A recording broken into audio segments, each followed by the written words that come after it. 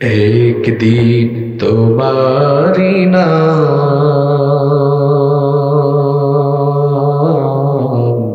মসজিদে হবে।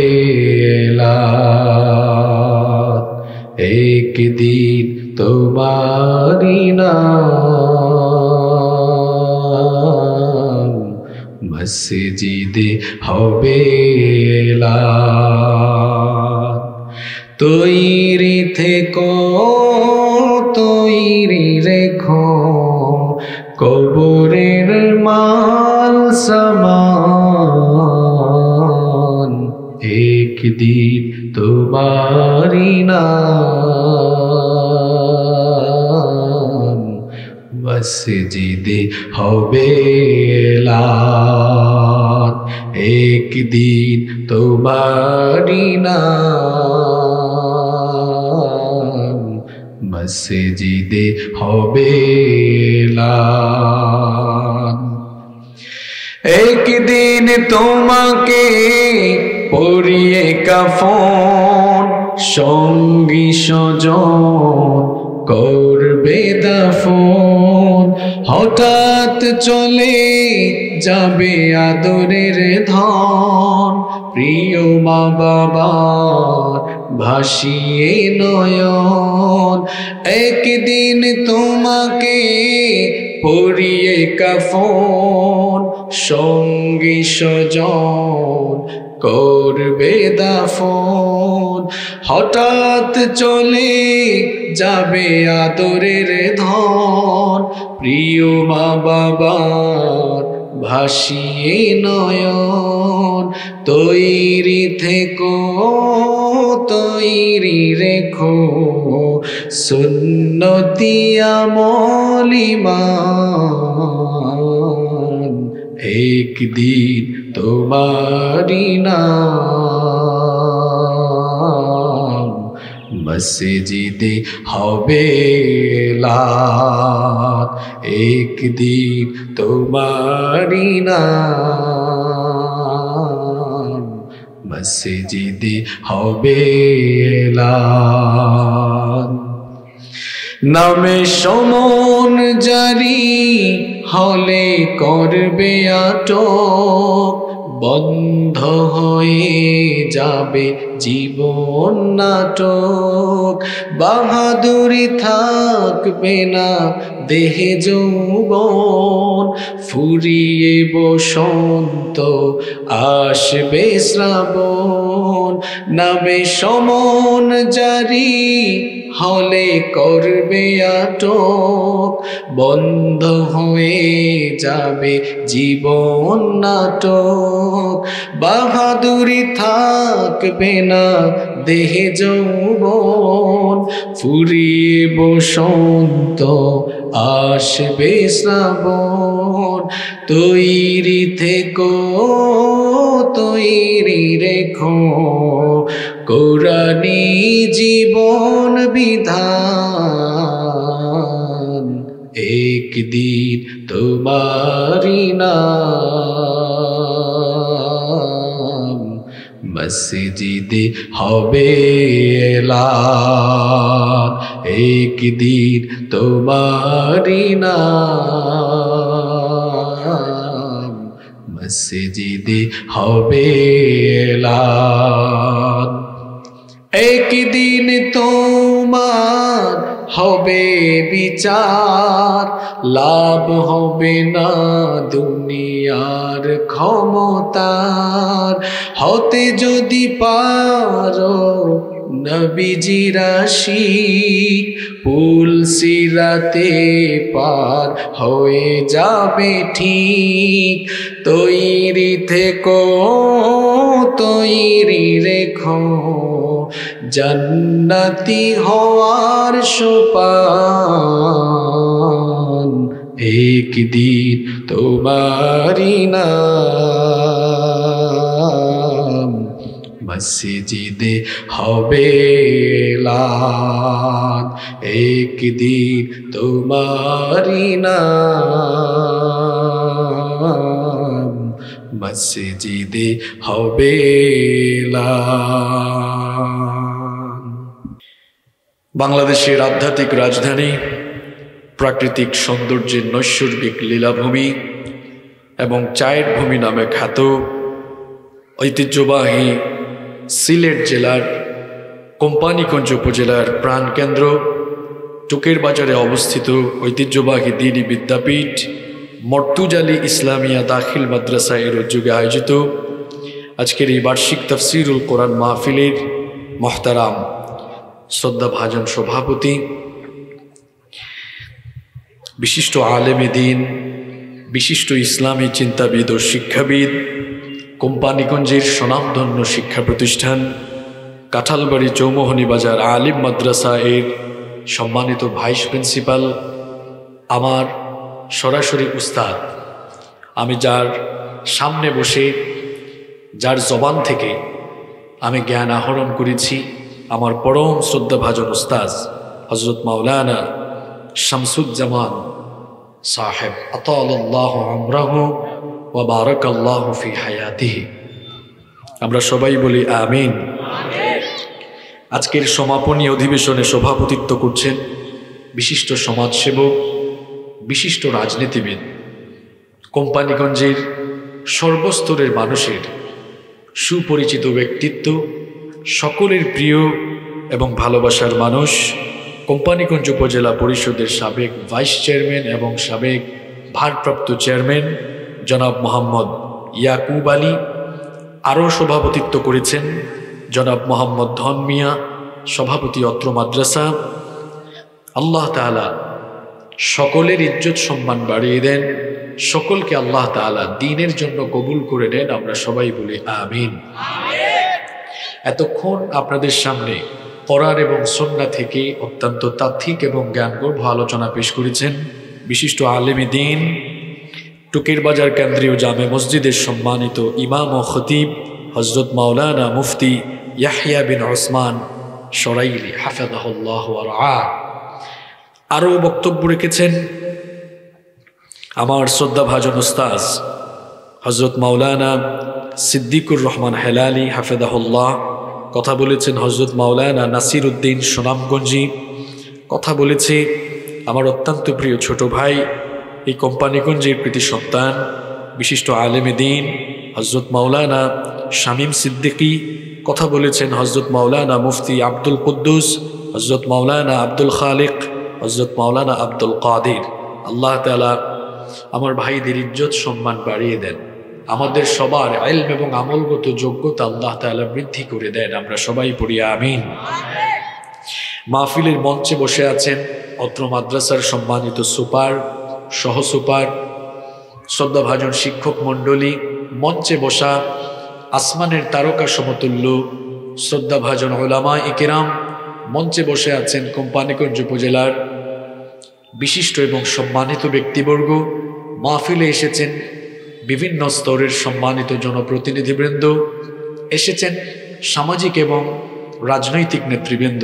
সামনে বসে আছেন আমার পিতার বয়সী শ্রদ্ধাভাজন মুরব্বিয়ানে আজম, যুগে যুগে আল্লাহর জমিনে আল্লাহর দিন প্রতিষ্ঠার জন্য যারা সবচাইতে বেশি অগ্রণী ভূমিকা পালন করেছেন আমার কলিজার টুকরা প্রিয় যুবক এবং তরুণ ভাইয়েরা, স্কুল, কলেজ, ইউনিভার্সিটি এবং বিভিন্ন মাদ্রাসা পড়ুয়া আমার প্রাণ প্রিয় মেধাবী ছাত্র ভাইয়েরা, পর্দার আড়াল থেকে শ্রমণতা সম্মানিতা মা এবং বোনেরা, উপস্থিত মিডিয়ার প্রিয় কর্মী এবং সাংবাদিক ভাইয়েরা, প্রশাসন এবং গোয়েন্দা সংস্থার সম্মানিত ভাইয়েরা, প্রাণ প্রিয় কোম্পানিগঞ্জবাসী, আমার প্রিয় এলাকাবাসী, আপনারা সবাই কেমন আছেন? যারা জায়গা না পেয়ে কষ্ট করে দাঁড়িয়ে আছেন, আপনারা সবাই কেমন আছেন? আলহামদুলিল্লাহ। আমাদের সবাইকে সুস্থতার সাথে বাঁচিয়ে রেখে আজকের এই তফসিরুল কোরআন মাহফিলে, কোরআনের আজকের এই সুন্দর, পবিত্র এবং আজকের এই নান্দনিক আয়োজনে আমাদেরকে সামিল হওয়ার তৌফিক যিনি দান করেছেন, তিনি কে? সেই মহান রবের জন্য হৃদয়ের সবটুকু ভালোবাসা, আবেগ, অনুভূতিকে উজাড় করে দিয়ে খুশি মনে, প্রাণবন্ত আওয়াজে উচ্চ কণ্ঠে কালিমাত শুকুর আদায় করে আমরা সকলেই পড়ছি আলহামদুলিল্লাহ। আজকের মাহফিলে আসতে পেরে আপনারা খুশি না বেজার? কম না বেশি? আমরা খুশি, পরিমাণেও বেশি, জবান খুলে পড়েন আল্লাহ আকবার। এই যে আল্লাহ আকবার আপনারা স্লোগান দিলেন, এটা কার নামের স্লোগান? আমাদের দেশে মাঝে মাঝে কোথার থেকে কিছু উল্লুক আর ভাল্লুক আসে আর মাঝে মাঝে এমন এমন কথা বলে, যে কথাগুলো আমাদের হৃদয়কে ক্ষতবিক্ষত করে দেয়।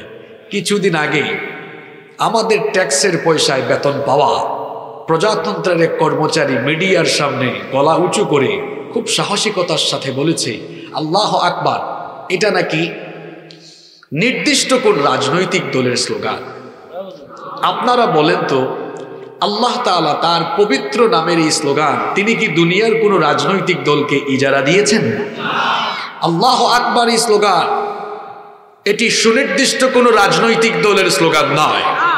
বরং এটি হচ্ছে তাম দুনিয়ার দুইশো কোটি মুসলমানদের ইমানি চেতনার স্লোগান।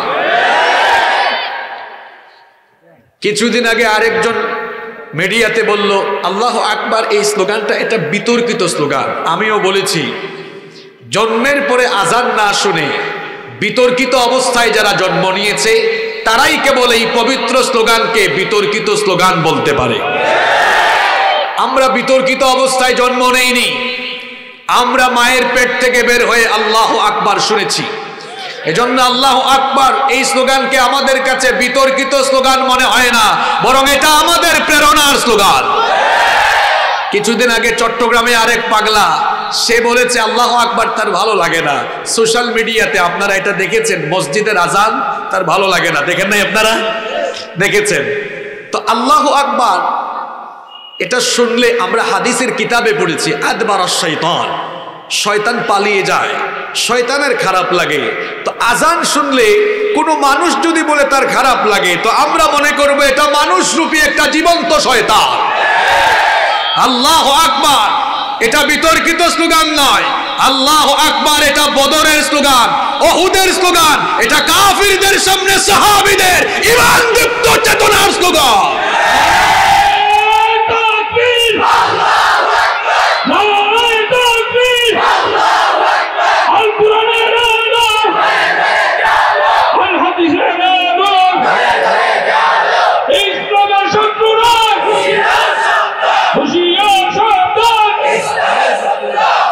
আমরা জন্মের পরে শুনেছি আল্লাহ আকবার। আবার যখন আমরা মরে যাব, আমাদের দেহকে জানাজার মাঠে নিয়ে বলা হবে আল্লাহ আকবার। আল্লাহ আকবার শুনতে শুনতে এসেছি, আল্লাহ আকবার শুনতে শুনতে চলে যাব। কারও যদি আল্লাহ আকবার ভালো না লাগে, তো তুমি তোমার ছেলে মেয়ে উত্তরাধিকারকে ওসিয়ত করবা, মরার পরে তোমার লাশ জানাজার মাঠে না নিয়ে যেন শ্মশানে নিয়ে চলে যায়। কারণ তোমার তো আল্লাহ আকবার ভালো লাগে না। যদি মরার পরে জানাজা পেতে চাও, তাহলে আল্লাহ আকবার ভালো লাগতে হবে। নইলে শ্মশানে চলে যাও, আমাদের কোনো আপত্তি ওখানে আল্লাহ আকবার নাই, আছে উলুধ্বনি। উলুধ্বনি ভালো লাগে, আজান ভালো লাগে না। কাতারে কিছুদিন আগে বিশ্বকাপ শেষ হলো। পশ্চিমের দেশ থেকে যারা এসেছে, আল্লাহ আকবার জীবনে শুনে নাই। পশ্চিমের অনেক দেশ আছে যেখানে আজানও হয় না। এরা আল্লাহ আকবার শুনেছে। মুগ্ধ হয়েছে, কলিজা ঠান্ডা হয়েছে, নিজেদের ফোন দিয়ে সেটা তারা রেকর্ড করে নিয়েছে। সোমান আল্লাহ পড়বেন না? আজানের ধ্বনি আমাদের কলিজাকে শীতল করে, আমাদের অন্তরকে আন্দোলিত করে, আজানের এই ধ্বনি আমাদেরকে মুগ্ধ করে। ঠিক কিনা বলেন? এজন্য আমরা যতদিন বাঁচব, কিছু মানুষ তো আছে, সে বক্তব্য শুরু করার সময় বিসমিল্লা বলতে পারে না। আপনার আমার এলাকার মানুষ, আমি দরদ নিয়ে কথাগুলো বলছি। কিছু মানুষ আছে বক্তব্যের শুরুতে বিসমিল্লা বলতে পারে না, দুই তিন মিনিট চলে যায় চামচামি করে তার নেতার গুণগান গাইতে গাইতে।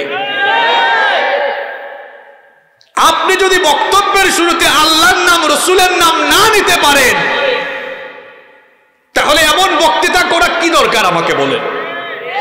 কিছু মানুষ আছে স্লোগান দেওয়ার সময় তার নেতার চামচামি করে করে স্লোগান দিতে দিতে শেষ, আল্লাহর নামে স্লোগান দিতে পারে? বলে, আমার ভাই, তোমার ভাই, অমুক ভাই, তমুক ভাই। আবার বলতে যে বলে, আমার ভাইয়ের চরিত্র ফুলের মতো। কার চরিত্র ফুলের মতো পবিত্র? এত নামাজ পড়ে না এক ওয়াক্ত, সুযোগ পাইলে গাঞ্জা খায় পাঁচ ওয়াক্ত। শয়তানের ভক্ত জাহান নামের তক্ত। কোনো বেইমানের পেছনে যাওয়া যাবে না। আমরা চলবো নামাজিদের সাথে। আমরা থাকব আলেমদের সাথে। আমরা থাকব কোরআনওয়ালা, ইসলামওয়ালা লোকদের সাথে। রাজি আছেন তো? আল্লাহ কবুল করেন। সম্মানিত উপস্থিতি। আমার প্রিয় এলাকাবাসী, আমি খুতবার ভেতরে কোরআনুল করিমের একটি সোরা, কিছু আয়াতে কারিমা তেলাওয়াত করেছি। সেই সোরা থেকেই আমি আপনাদের সামনে কিছু কথা বলব ইনশা আল্লাহ এটা কোরআনের মাহফিল, আমরা কোরআন থেকেই কথা শুনব, বলেন, ইনশা আমার হাতে যে কিতাব, আপনারা দেখছেন, এই কিতাবের নাম কি? আল কোরআনুল করিম। এই কিতাব যিনি নাজিল করেছেন, তিনি কে? খুব খেয়াল করে শোনেন, আল্লাহ তালা এই কিতাব নবীজির উপরে যখন নাজিল করেছেন, সুদীর্ঘ তেইশ বছরে নবীজির কাছে কোরআন নাজিল হয়েছে। কিন্তু সর্বপ্রথম যখন নবীজির কাছে আল্লাহ জিব্রিল পাঠালেন, সর্বপ্রথম নামাজের আয়াত নিয়ে জিব্রিল আসেন নাই, জিহাদের আয়াত নিয়ে আসেন নাই, হজের আয়াত জাকাতের আয়াত, সুদ, ঘুষ ইত্যাদি ইত্যাদি, এসব আয়াত নিয়ে নবীজির কাছে আসেন নাই। জিব্রিলকে আল্লাহ সর্বপ্রথম পাঠিয়েছেন নবীজির কাছে শিক্ষা ব্যবস্থার আয়াত নিয়ে। কিসের আয়াত? একটু জোরে বলতে হবে, কিসের আয়াত? শিক্ষা ব্যবস্থার আয়াত। প্রথম নাজিল হয়েছে হেরা গুহায় এ কর বিস্মে রব্বিকাল্লাদি ঠিক আছে তো আমার কথা? আল্লাহ তাআলা সর্বপ্রথম নবীজির কাছে আয়াত নাজিল করলেন, পড়ো। পড়ো তোমার প্রভুর নামে। যিনি সৃষ্টি, যিনি তোমাকে সৃষ্টি করেছেন। আল্লাহ তালা প্রথমে পড়ার কথা বললেন, শেখার কথা বললেন, জ্ঞানার্জনের কথা বললেন, শিক্ষা ব্যবস্থার আয়াত নাজিল করলেন। কেন জানেন? কারণ হলো, শিক্ষা ছাড়া আলোকিত মানুষ হওয়া যায় শিক্ষা ছাড়া সভ্য হওয়া যায় শিক্ষা ছাড়া কোনো জাতি উন্নত হতে, এজন্যই তো আমরা বলি education is the backbone of a nation শিক্ষা হলো জাতির মেরুদণ্ড। মেরুদণ্ড, এটাতে ব্যথা থাকলে যেমন সোজা হয়ে দাঁড়ানো যায় না, শিক্ষা যদি কোনো জাতির ভেতরে না থাকে, তাহলে ওই জাতি কখনো মাথা উঁচু করে দাঁড়াতে পারবে এজন্য আল্লাহ তারা সুফহান আল্লাহ দেখেন কোরআনে ছয় হাজার দুইশো ছয়ত্রিশটা আয়াত। কিন্তু আল্লাহ সর্বপ্রথম নাজিল করলেন শিক্ষার আয়াত। কারণ এই শিক্ষা দিয়ে জাতি গঠন করা যায়। শিক্ষা দিয়ে সমাজ গঠন করা যায়। তবে সে শিক্ষা হতে হবে রবের শিক্ষা।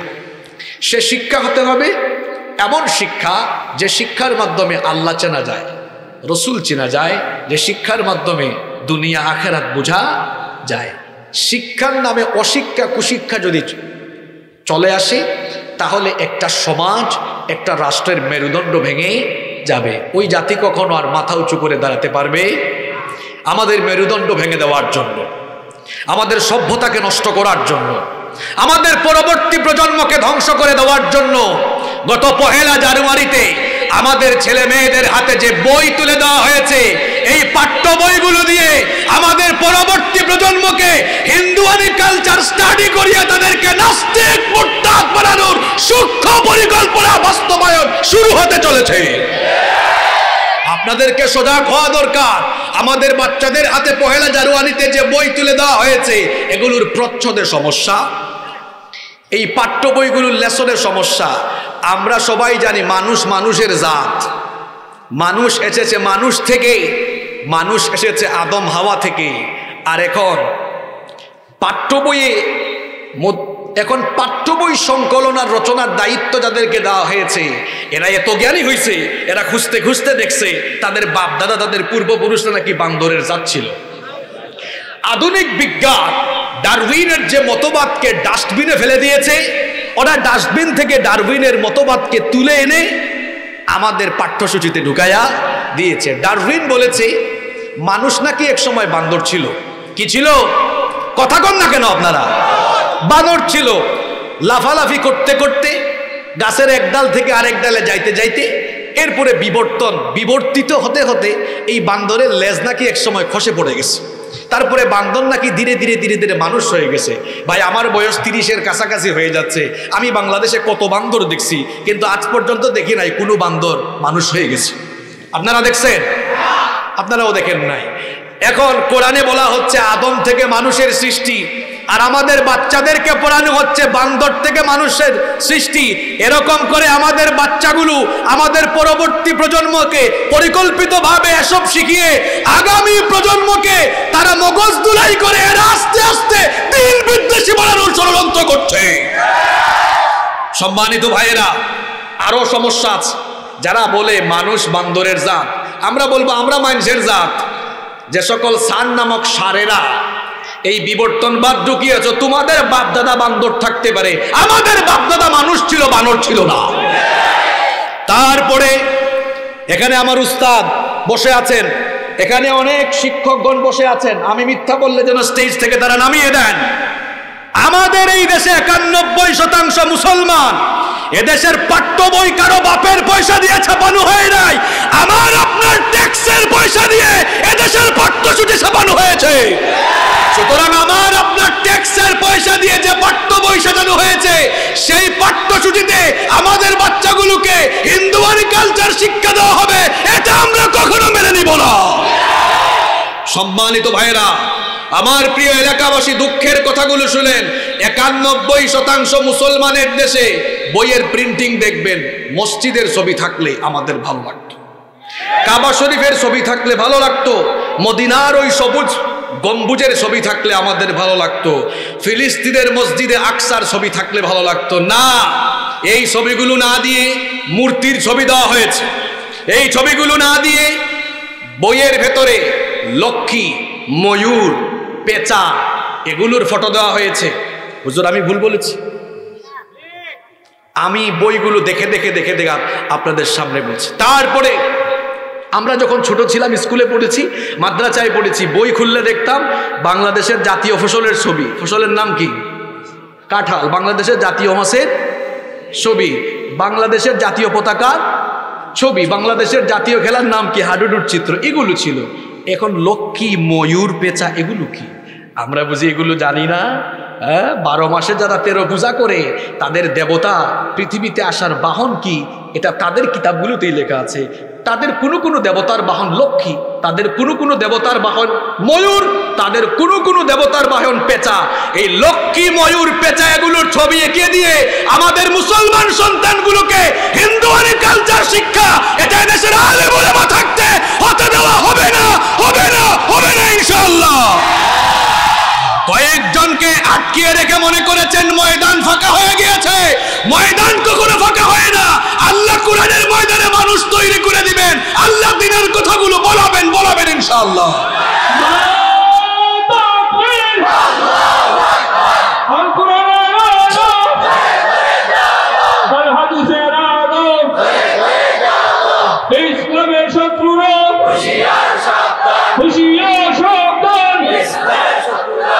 এখানে আমার প্রশাসনের ভাইয়েরা এবং আমার শ্রদ্ধাভাজন রাজনৈতিক নেতৃবৃন্দ যারা আছেন, আপনারা আমার কথায় রাগ করবেন না।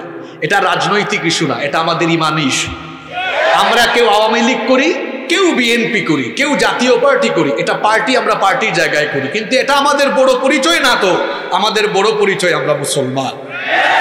আপনারা কি চান আপনাদের সন্তানগুলো এটা শিখুক যে মানুষ বান্দরের জাত এটা সে পড়বে। তারপর আপনি যখন দাদা হবেন নানা হবেন দেখা যাবে আপনার নাতি আপনার নাতনিকে আপনি কাঁধে নিয়েছেন কুলে নিয়েছেন। সে বলবে দাদু ভাই নানু ভাই আমরা তো বইয়ে বিবর্তনবাদ পড়েছি মানুষ বান্দরের জাত। তাইলে মনে হয় আপনার দাদার দাদা বান্দর ছিল। এগুলোই তো বলবে। আপনার ভালো লাগবে না খারাপ লাগবে? ক্লাস সেভেন কোন ক্লাসের বই আমি দেখলাম? সেভেনের নিচে হবে। শেখানো হচ্ছে, দেখেন, আমাদের কালচার কীভাবে নষ্ট হচ্ছে। বইয়ের মধ্যে লিখছে, তোমার বাপের ঘরে ছেলেকে, তোমার বাপের ঘরের জন্ম নেওয়া, ছেলে তোমার ড্যাশ ড্যাশ ড্যাশ। উত্তর লেখছে, দাদা, তোমার বাপের ঘরে জন্ম নেওয়া মেয়ে, তোমার ড্যাশ ড্যাশ ড্যাশ। উত্তর লেখছে, দিদি। হ্যাঁ কথা শোনেন, তোমার বাপের বাপ, তোমার, আমরা কি আমরা কি বলি? দাদা, আর ওরা কি জানে বলে ঠাকুরদা? ঠাকুরমা, তোমার বাপের বোনকে কি বলে? আমরা তো ফুফু বলি, শেখাচ্ছে পিসি বলে। এগুলা কি শেখানো হচ্ছে? এগুলা কি শেখানো হচ্ছে? আমাদের ট্যাক্সের পয়সায় বইগুলো ছাপা হয়। কথা কি ঠিক বলছি না বেঠিক বলছি? এই বই ছাপা হয় কারও বাপের পয়সায়? তাদের পয়সায়? আপনাদের আপনাদের। আপনাদের ট্যাক্সের পয়সা দিয়ে ছাপানো বই। আর সেই বইয়ের ভেতরে জাফর ইকবালদের বানানো পরিকল্পনা বাস্তবায়ন। এটা আমরা হতে দিতে দিব না দিব না দিব না ইনশাআল্লাহ। আমরা সবাই সচেতন। আমরা আওয়ামী লীগ, বিএনপি জাতীয় পার্টি, সবাই আমরা ঐক্যবদ্ধ। এদেশের আলেমদের মধ্যে ঠেলাঠেলি থাকলেও আপনারা দেখেছেন সব আলেমরা এই বিষয়ে একমত। আমরা দাবি করছি বিতর্কিত এই পাঠ্য বই, যে সকল পাঠ্য বইয়ের ভেতরে যে সকল বিতর্কিত লেসন বিতর্কিত বিষয় আছে, সেগুলো ডাস্টবিনে ফেলে দিয়ে আলেমদেরকে ডেকে আমাদের জাতির জন্য কল্যাণ হয়, সমাজের জন্য কল্যাণ হয়, আমাদের ছেলে মেয়েদের কল্যাণ হয়। এই রকম বইগুলো পুনরায় মুদ্রণ করে আমাদের সন্তানদের হাতে দিতে হবে। কারা কারা এই দাবির পক্ষে একমত, হাত তুলে দেখা লিল্লাহি তাকবীর। লিল্লাহি তাকবীর। হাত বলুন আমার আমরা ছোটবেলায় শিখেছি আই ছেলেরা আই মেয়েরা, ফুল তুলিতে যায়। আমরা পড়েছি, হুজুর, এই কবিতাটা আমাদেরকে ক্লাস নাইনে পড়িয়েছেন। আমার এখনও মনে আছে, নাই তাজ, তাই লাজ। ওরে মুসলিম, খরজুর শীর্ষে তুরাসাদ জাতীয় কবি কাজী নজরুল ইসলামের কবিতা। আমরা পড়েছি, চল চল চল। ঊর্ধ্ব গগনে বাজে মাদল, নিম্নে উতলা ধরণী তল। অরুণ প্রাতের তরুণ দল, চল রে চল রে। আমরা শিখেছি, আমাদের দেশে হবে সেই ছেলে কবে? কথায় না বড় হয়ে কাজে বড়? আমরা শিখেছি, আমি হব সকালবেলার পাখি। সবার আগে উঠবো আমি কুসুম, কি জানি? কুসুমবাগে উঠবো আমি জাগি। আমরা শিখেছি সেই কবিতা, ওইখানে তোর দাদির কবর ডালিম গাছের তলে। তিরিশ বছর ভিজায় রেখেছি দুই নয়নের জলে। আমরা পড়েছি, এই সুন্দর ফুল, সুন্দর ফল, মিঠা নদীর পানি, খোদা সব তোমার? প্রতিটা কবিতা কত সুন্দর, আর এখন কি শেখানো হয়? আগডুম বাগডুম গোড়াডুম এখন শেখায়, হাট্টিমা, টিম টিম টিম, তারা মাঠে পারে টিম তাদের খাড়া দুটো শিখ আমি ঠিক বললাম না বেঠিক বললাম? এই হাট্টিমা, টিম টিম টিম আগডুম বাগডুম আপনাদের ছেলেরা, আপনাদের মেয়েরা শিখুক। এটা কি আপনারা চান? আপনাদের ছেলে মেয়েরা ভালো জিনিস শিখুক। আপনাদের ছেলে মেয়েরা বড়কে সম্মান করতে শিখুক, ছোটকে স্নেহ করুক। আপনাদের ছেলে মেয়েরা সভ্য হোক, ভদ্র হোক, নম্র হোক, আপনারা চান তো এজন্য কি করতে হবে? সুশিক্ষায় শিক্ষিত করতে। এজন্য শিক্ষা ব্যবস্থায় ষাটদের মতো লোকদেরকে রাখা যাবে না। এখানে ভালো মানুষ রাখতে হবে। দেশের বরেণ্য শিক্ষাবিদদেরকে রেখে, আলেমদের সাথে সমন্বয় করে। হুজুরদেরকে দেখলে তো জ্বালাপোড়া হয় কেন? হুজুররা কি জুব্বা পরে বলে আর টুপি লাগায় বলে কিচ্ছু জানে না? হ্যাঁ? গত পরশু দিন এক মহিলা বলল, আমাদের দেশের হুজুররা কিছুই জানেন না, তো আপনি সব জেনে ফেলেছেন, তাই না? আরেকজন তো সংসদে বলছে, সিহা চিত্তা সব নাকি সে পড়ে ফেলেছে। হ্যাঁ? কয়েক বছর আগে আগেও কমন্না সায়ন আছে আর দুইশো টাকা, তিনশো টাকা মানুষের কাছ থেকে নিয়ে গিয়েছো আর এখন হুজুরটার গলার উপরে কথা বলো, ঠিক কিনা বলে? মাথায় ঠিক মতো কাপড় পরতে জানো না। আর বলতেছে, আমাদের দেশের হুজুররা কম বুঝে। হুজুররা কম বুঝে না, তোমরা সামান্য ফটো ফটোর ইংলিশ জানো, আমাদের সামনে এসে দাঁড়াতে পারবা না। ইংলিশ আমরাও কম পারি না। হুজুরদেরকে মনে করে, পাগড়ি একটা লাগাইছে, জুব্বা একটা পড়ছে কি আর জানে? তো তোমাদের সোনার ছেলেরা স্কুল কলেজে পড়ে, বিশ্ববিদ্যালয়ে যখন ভর্তি পরীক্ষা দিতে যায়, তখন তো তোমাদের স্কুল কলেজের ছেলেরা, আমার মাদ্রাসার ছেলের সাথে পাত্তাও পায় না। শুধু জুব্বার দাড়ি দেখলেই ভাবিয়েন না যে এটা কিচ্ছু জানে না। কোরআনের জ্ঞান যার কাছে আছে, সে ব্যক্তি প্রকৃত জ্ঞান, ঠিক কি না? আর রহমান আল্লামান। আমি কোথাও মাহফিলে অপ্রাসঙ্গিক কোনো কথা বলি না, কিন্তু গত কয়েকদিন ধরে শিক্ষা ব্যবস্থা নিয়ে বলতে হচ্ছে, না বললে আমি আল্লাহর কাছে দায়ী থেকে যাব। এটা সচেতন করা আমার দায়িত্ব। আর আমি আমার আলোচনার বাহিরে যাব না। আমি খুদবার শুরুতে একটি সোরার কিছু আয়াত তিলাওয়াত করেছি। সেই আয়াতে কারিমা থেকে আমরা আজকে আমাদের জীবন গঠনের জন্য হেদায়েতে কিছু কথা শুনব। বলেন ইনশা আপনারা শেষ পর্যন্ত থাকবেন তো? ভয় নেই আপনাদের। আমি অনেক লম্বা সময় আলোচনাতে অভ্যস্ত নই সংক্ষিপ্ত সময়ে এই আয়াত থেকে আমাদের জীবন গঠনের কিছু কার্যকরী মেসেজ আমরা নিয়ে বাড়ি যাব। বলেন ইনশা আল্লাহ আল্লাহ আমাকে সঠিকভাবে আল্লাহর কালামের কথাগুলো বলবার আপনাদেরকে ধৈর্য ধরে আমাদের সবাইকে আল্লাহ আমলের নিয়তে শুনবার তৌফিক দান করেন। আমি যে সুরাটা তেলাওয়াত করেছি এই সুরাটার নাম হচ্ছে সুরাতু আন নাজিয়াত আপনারা আমার সাথে কথা বলবেন। তাহলে বলেন তো আজকে যে সুরা থেকে আমরা কথা বলব এই সুরাটার নাম কি? সুরা আন নাজিয়াত অন্তত এতটুকু বলেন নাজিয়াত। সুরার নাম?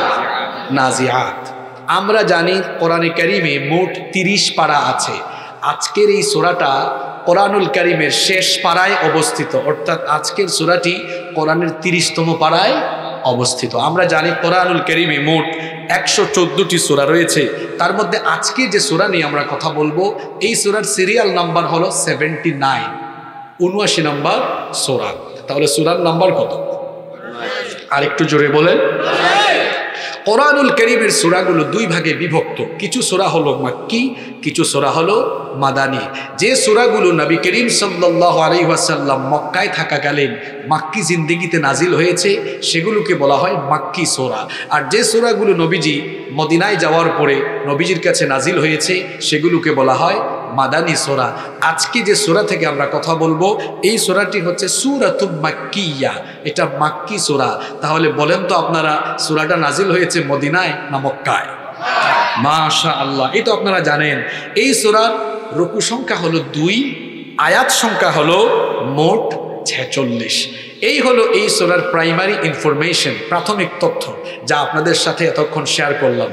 আমার বিশ্বাস, আমার এলাকাবাসী, প্রতিটি মানুষের মেমোরি অত্যন্ত ভালো। আপনারা সবাই মেমোরাইজ করে ফেলেছেন এটা আমার বিশ্বাস। তাও আমরা একটু বলি যাদের মুখস্থ হয় নাই যেন তাদের মুখস্থ হয়ে যায়। আজকের সুরার নাম সুরা সবাই সবাই বলেন কষ্ট করে বলেন। নাজিহা আজকের সুরাটা কত নাম্বার পাড়ায় আছে? তিরিশ নম্বর পাড়ায় আছে। আজকের সুরার সিরিয়াল নাম্বার উনআশি মাশা আল্লাহ সুরাটা মাদানি না মাক্কি? মাক্কি। সুরার রুকু সংখ্যা আয়াত সংখ্যা ছেচল্লিশ। এবার সবাই খুশি হয়ে পড়েন, আলহামদুলিল্লাহ। তাইলে সোরার প্রাথমিক তথ্য শেষ। আর আমরা দেরি করব না। আমি এই সোরার প্রথম চোদ্দটি আয়াত তিলাওয়াত করেছি। এই চোদ্দটা আয়াত থেকে আমরা কিছু শিক্ষা নিয়ে আজকে বাড়িতে যাব। বলেন, ইনশা আল্লাহ। যেহেতু সোরাটি মাক্কি সোরা, আমাদেরকে জেনে নিতে হবে আলোচনার আগে নবীজির মাক্কি জিন্দেগির দাওয়াতের বৈশিষ্ট্য ছিল তিনটা। জোরে বলেন কয়টা? এক নম্বর তাওহীদ। দুই নম্বর রিসালাত, তিন নম্বর আখিরাত বা কেয়ামত। চলেন আমরা এই সোরাটা শুরু করি। কোরআন পড়লে, তিলাওয়াত করলে লাভ না লস? সওয়াব না গুণা আপনারা সওয়াব নিতে চান না? তাহলে আপনারা একটু পড়ার চেষ্টা করেন, বলেন, আউযু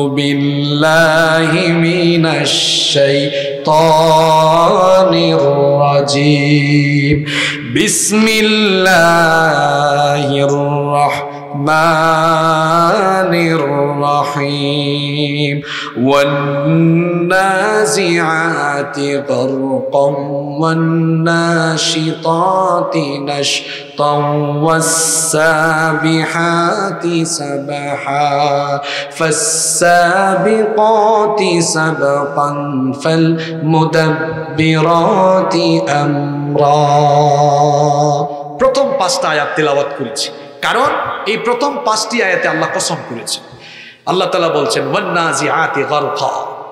কসম নির্মমভাবে রূহ উৎপাটনকারীদের। আমরাও কসম করি, আল্লাহও কসম করেন আমাদের কসম আর আল্লাহর কসম কি একরকম? একরকম নয়। আমরা কখন কসম করি? যখন কোনো একটি কথা গুরুত্ব সহকারে মানুষের সামনে তুলে ধরতে চাই, তখন আমরা কসম করি। যেমন বলি, আল্লাহর কসম এই কথাটা বলি নাই, আল্লাহর কসম ওখানে আমি যাই নাই। তো আল্লাহ তাআলা যখন কসম করেন, তখন তিনি গুরুত্ব সহকারে কোনো কথা বিশ্বাস করানোর জন্য কসম করেন না। বরং আল্লাহ কসম করেন, সেই বিষয়ে কসমের পরে যিনি, তিনি যে বিষয়টি নিয়ে আলোচনা করতে চান, সেটার সাথে যা সংশ্লিষ্ট, সে বিষয়টির তিনি কসম করে থাকেন। এই সোরার মধ্যে আল্লাহ তাআলা পরকাল অবিশ্বাসী লোকদের ব্যাপারে আলোচনা করেছেন। এই জন্য আল্লাহ তালা এই সুরার প্রথম পাঁচটি আয়াতে পরকালে যাওয়ার জন্য যে ফেরেস্তা কাজ করবে, মৃত্যুকালীন সময়ে ওই ফেরেস্তাদের কসম যিনি করেছেন, তিনি কে?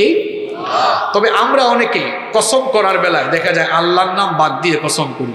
বিদ্যার কসম, মায়ের কসম, বাপের কসম দাদার কসম, মনে রাখতে হবে, আল্লাহ ছাড়া অন্য কারও নামে কসম করা যায় না। কারণ নবীজি বলেছেন, মান হালাফা বিগাইরিল্লাহি ফাকাদ আশরাকা। যে ব্যক্তি আল্লাহ ছাড়া অন্য কারও নামে শপথ করল, সে কার সাথে শির করল? এজন্য কসম করতে হয় কার নামে? প্রথম পাঁচটি আয়াতে রব্বুল আলামিন কসম করছেন, ওয়ান্নাজিয়াতি গরকা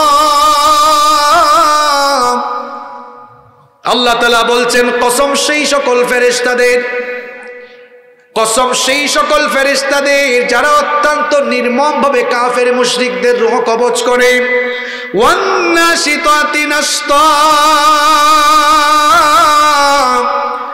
কসম সেই সব ফেরিস্তাদের যারা অত্যন্ত সহজভাবে আত্মার বন্ধনকে মুক্ত করে দেয়। অর্থাৎ কসম সেই সব ফেরেস্তানের যারা অত্যন্ত সহজ করে মমেন বান্দাদের রুহ কবচ করে। কসম সেই সকল ফেরেস্তাদের যারা দ্রুত গতিতে সন্তরণ করে। সে সকল ফেরেস্তারা যারা দ্রুততার সাথে একজন আর একজনকে ছাড়িয়ে যায়। ফাল মুদাব্বিরাতি আমরা।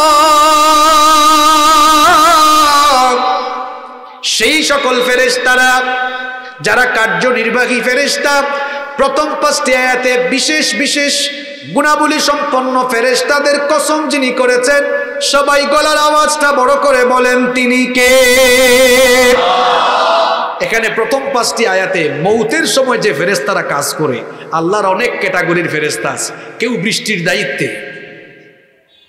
কেউ বৃষ্টির দায়িত্বে, কেউ সিঙ্গার দায়িত্বে কেউ ওহি আনার দায়িত্বে, কেউ বা আবার রুহ কবজের দায়িত্বে। প্রথম পাঁচটা আয়াতে, মরার সময় যে ফেরেস্তারা কাজ করে আল্লাহর আদেশে, ওই ফেরেস্তাদের নামে কসম যিনি করেছেন, তিনি কে? আপনাদের প্রশ্ন হতে পারে যে, হুজুর, প্রথম পাঁচ আয়াতে আল্লাহ শুধু এই মরার সময় যে ফেরেস্তারা কাজ করে, এদের কসম করলেন কেন? কারণ হলো, এই সোরাটা মাক্কি সোরা। ওই মাক্কি জিন্দেগিতে নবীজি যাদেরকে দাওয়াত দিয়েছেন, এরা পরকালে বিশ্বাস করত না, আখেরাতে বিশ্বাস করত না। পরকালে আখেরাতে মরার পরে আমাদের আরেকটা জীবন আছে না নাই? এই জীবনের শুরু আছে, শেষও আছে। দুনিয়ার জীবনের শুরু আছে, শেষও আছে। কিন্তু আখেরাতের জীবন এটা শুরু হবে, কিন্তু শেষ আর হবে না। নবীজি যখন তাদেরকে বলতেন, এই দুনিয়ার জীবনটা তোমাদের আসল জীবন নয় এই দুনিয়ার জীবনের পরে তোমাদের জন্য আরেকটা জীবন আছে। তোমরা যখন মরে যাবে, মরার পরে তোমাদেরকে আবার জিন্দা করা হবে। তারা বলতো, এটা আবার কেমন কথা? আমরা যখন মরে যাব, পচে যাব, গলে যাব, মাটির সঙ্গে মিশে যাব, কি করে আমাদেরকে আবার জিন্দা করা হবে? এমনকি আমাদের পূর্বপুরুষদেরকে কীভাবে জিন্দা করা হবে? নবীজি বললেন, শুধু তোমাদেরকে নয়, তোমাদের পূর্বপুরুষদেরকে নয়, মাথার উপরে যে আসমান আর পায়ের তলায় যে বিস্তৃত জমিন আছে, এই আসমান জমিন একদিন উলট পালট হয়ে যাবে। মেসাকার হয়ে যাবে লন্ড ভণ্ড চূর্ণ বিচূর্ণ হয়ে যাবে। আকাশের দিকে মাথা উঁচু করে দাঁড়িয়ে থাকা আসমানগুলো তুলার মতো উড়ে যাবে। নবীজি যখন তাদেরকে কেয়ামত সংগঠিত হওয়ার কথা বলতেন, তারা বলতো, এটা আবার কেমন কথা? কেমনে এগুলো হবে? কেমনে পরকাল সংগঠিত হয়? কি করে কেয়ামত হয়? সেই মুহূর্তে আল্লাহ সুরা নাজিয়াত নাজিল করছেন। সুরা নাজিয়াত নাজিল করে আল্লাহ প্রথম পাঁচটা আয়াতে বিশেষ বিশেষ গুণাবলী সম্পন্ন ফেরেস্তা যারা মৃত্যু সংগঠিত হওয়ার সময় কাজ করে, তাদের কসম আল্লাহ এই জন্য করেছেন কারণ ওই যুগের মুশরিকগুলো, জাহেলগুলো, তারা ফেরেস্তা আছে, এটা বিশ্বাস করত। কিন্তু আকিদায় ঝামেলা ছিল, তারা ফেরেস্তাদেরকে আল্লাহর কন্যা মনে করত। এজন্য আল্লাহ কোরআনের অন্য এক নাজিল করে বলেছেন ফেরেস্তারা আমার কন্যা নয়, বরং ফেরেস্তা যার সৃষ্টি সবাই বলেন তিনি কে? আল্লাহ। আয়াত নাজিল করে জানালেন ফেরেস্তা আমার সৃষ্টি। কাফের মুশরিকরা বিশ্বাস করতো, আল্লাহ ফেরেস্তা দিয়া আল্লাহ ফেরেস্তা দিয়ে অনেক কাজ করান, কিন্তু ফেরেস্তাকে তারা কন্যা মনে করত। আল্লাহ বললেন ফেরেস্তারা আমার কন্যা নয় আল্লাহ বললেন, যেহেতু মরার সময়, দুনিয়ার সব কিছু এবং মৃত্যুর সময় আমি ফেরেস্তা দিয়ে তোমাদের যান কবজ করি, এটা তোমরাও জানো। সেহেতু ওই ফেরেস্তাদের কসম করলাম এই কারণে যে ফেরেস্তা দিয়ে তোমাদের যান কবজ আমি করা ওই ফেরেস্তা দিয়ে কেয়ামতের ঘটনাও যিনি ঘটাইতে পারবেন তিনি কে? এই জন্য আল্লাহ তার সৃষ্টি ফেরেস্তাদের কসম করলেন, বিশেষ করে মৃত্যু সম্পন্নের সময় যে ফেরেস্তারা আছে তাদের কসম করলেন। প্রথম আয়াতে আল্লাহ বললেন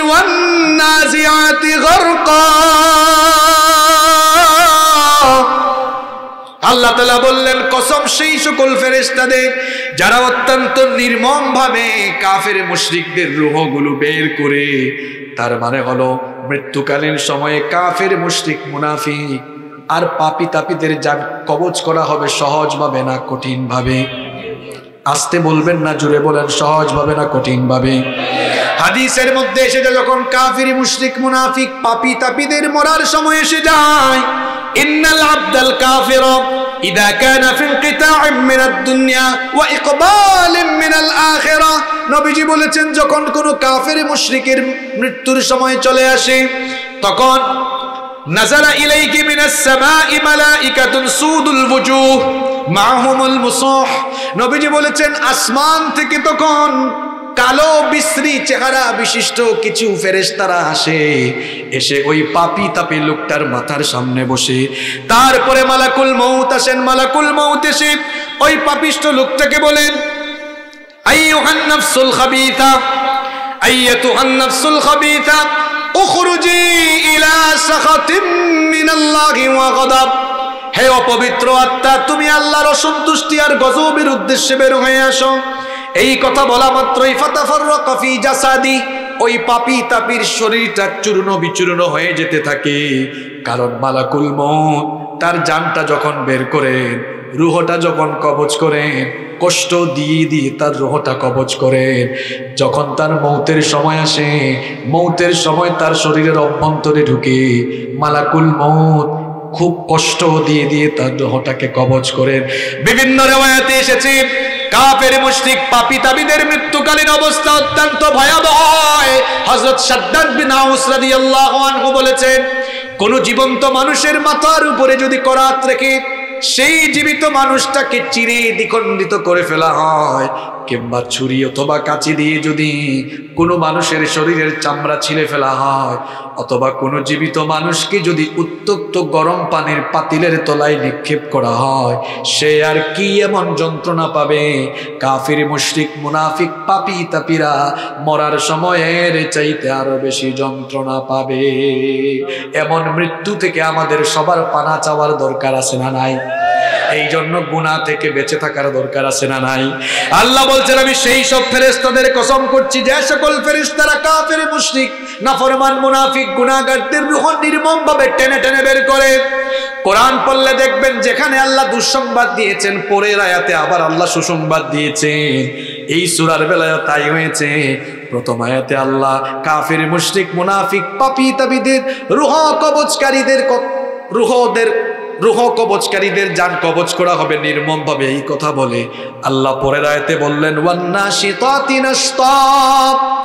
কসম, সেই সকল ফেরেশতাদের যারা সহজে আত্মার বন্ধন মুক্ত করে দেয়, অর্থাৎ যারা ইমানদার, ভালো মানুষ, নেককার মানুষের যান খুব সহজভাবে কবচ করে। নেককার যারা নামাজি মা বাবার খ্যাতমতকারী গুনাহ করে না, পাপ করে না, পাপের দ্বারে কাছে যায় না। আল্লাহর গোলামি যারা করে, সেই সকল মানুষের মৃত্যুর সময় যখন এসে যায়, আসমান থেকে শুভ্র, সাদা চেহারা বিশিষ্ট, জান্নাতে কিছু ফেরেশতারা আগমন করেন। এরপরে মালাকুল মউত এসে সালাম দেন, সালাম দিয়ে তাকে বলেন, আইয়ুহান নাফসুত তাইয়্যিবা উখরুজি উখরুজি ইলা মাগফিরাতিন মিনাল্লাহি ওয়া রিদওয়ান। এসে বলেন, হে পবিত্র আত্মা আল্লাহর সন্তুষ্টি, আল্লাহর ক্ষমা আর আল্লাহর জান্নাতের দিকে তুমি বের হয়ে আসো। এই কথা বলে নেককার, ভালো মানুষদের রুহ তিনি এত সহজ করে কবজ করে ফেলেন। নবীজি বলেছেন, একটা ভরা কলসি থেকে পানি ঢাললে ওই পানি যেমন সহজে পড়ে যায়, তেমনি নেককার, নামাজি, ভালো মানুষদের দেহের ভেতর থেকে অত্যন্ত সহজ করে তার রুহটা বের হয়ে যায়। সুবান আল্লাহ পড়বেন না আপনারা? একটা অবুজ শিশু, বাচ্চা শিশু যখন ক্ষুধা লাগে, ক্ষুধার যন্ত্রণায় সে কান্না করে, সেই সময় যখন তার মা এসে বুকের সাথে জড়িয়ে ধরে, এরপরে যখন বুকের দুধ পান করায় অবুজ বাচ্চা, অবুজ শিশু তখন কান্না বন্ধ করে দিয়ে সে যেমন আরাম করে ঘুমিয়ে যায়। নেককার, নামাজি, ভালো মানুষ। তার রোহ যখন কবচ করার সময় হবে, মালাকুল মৌত তার সামনে এসে জান্নাতের চক্ষু জুড়ানো নয়ন প্রীতিকর চিত্র যখন তুলে ধরবে। ওই নেককার বান্দাও জান্নাতের চিত্র দেখতে দেখতে আরাম করে ঘুমিয়ে যাবে। আল্লাহ এমন সুন্দর মৌত তুমি আমাদেরকে নসিব করে দিও। আর জোরে বলে না, আমিন। দুই নম্বর আয়াতে আল্লাহ ভালো মানুষদের রুহ যারা কবজ করেন, সেই সকল ফেরেস্তাদের কসম করলেন। এরপরে রব্বুল আলামিন তিন নম্বর আয়াতে বললেন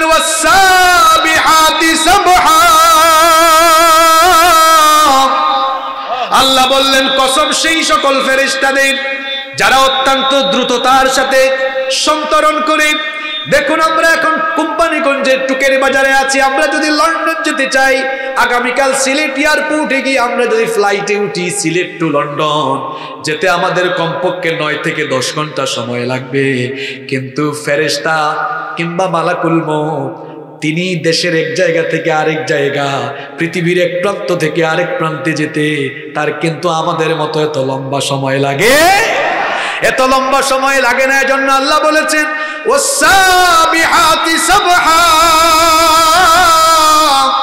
আমি কসম করছি, সেই সব ফেরেশতাদের যারা চলার ক্ষেত্রে অত্যন্ত দ্রুত গতিতে সন্তরণ করে, ফেরেশতাদের চলার গতি অত্যন্ত দ্রুত, আপনার আমার চোখের পলক ফেলতে দেরি হয়, কিন্তু মালাকুল পৃথিবীর এক প্রান্ত থেকে অন্য প্রান্তে যেতে তার ততটা সময় লাগে না, বলেন তো দেখি এই দুনিয়ার সকল প্রাণীদের যান কবচ করার জন্য মালাকুল মৌতকে যিনি দায়িত্ব দিয়েছেন তিনি কি?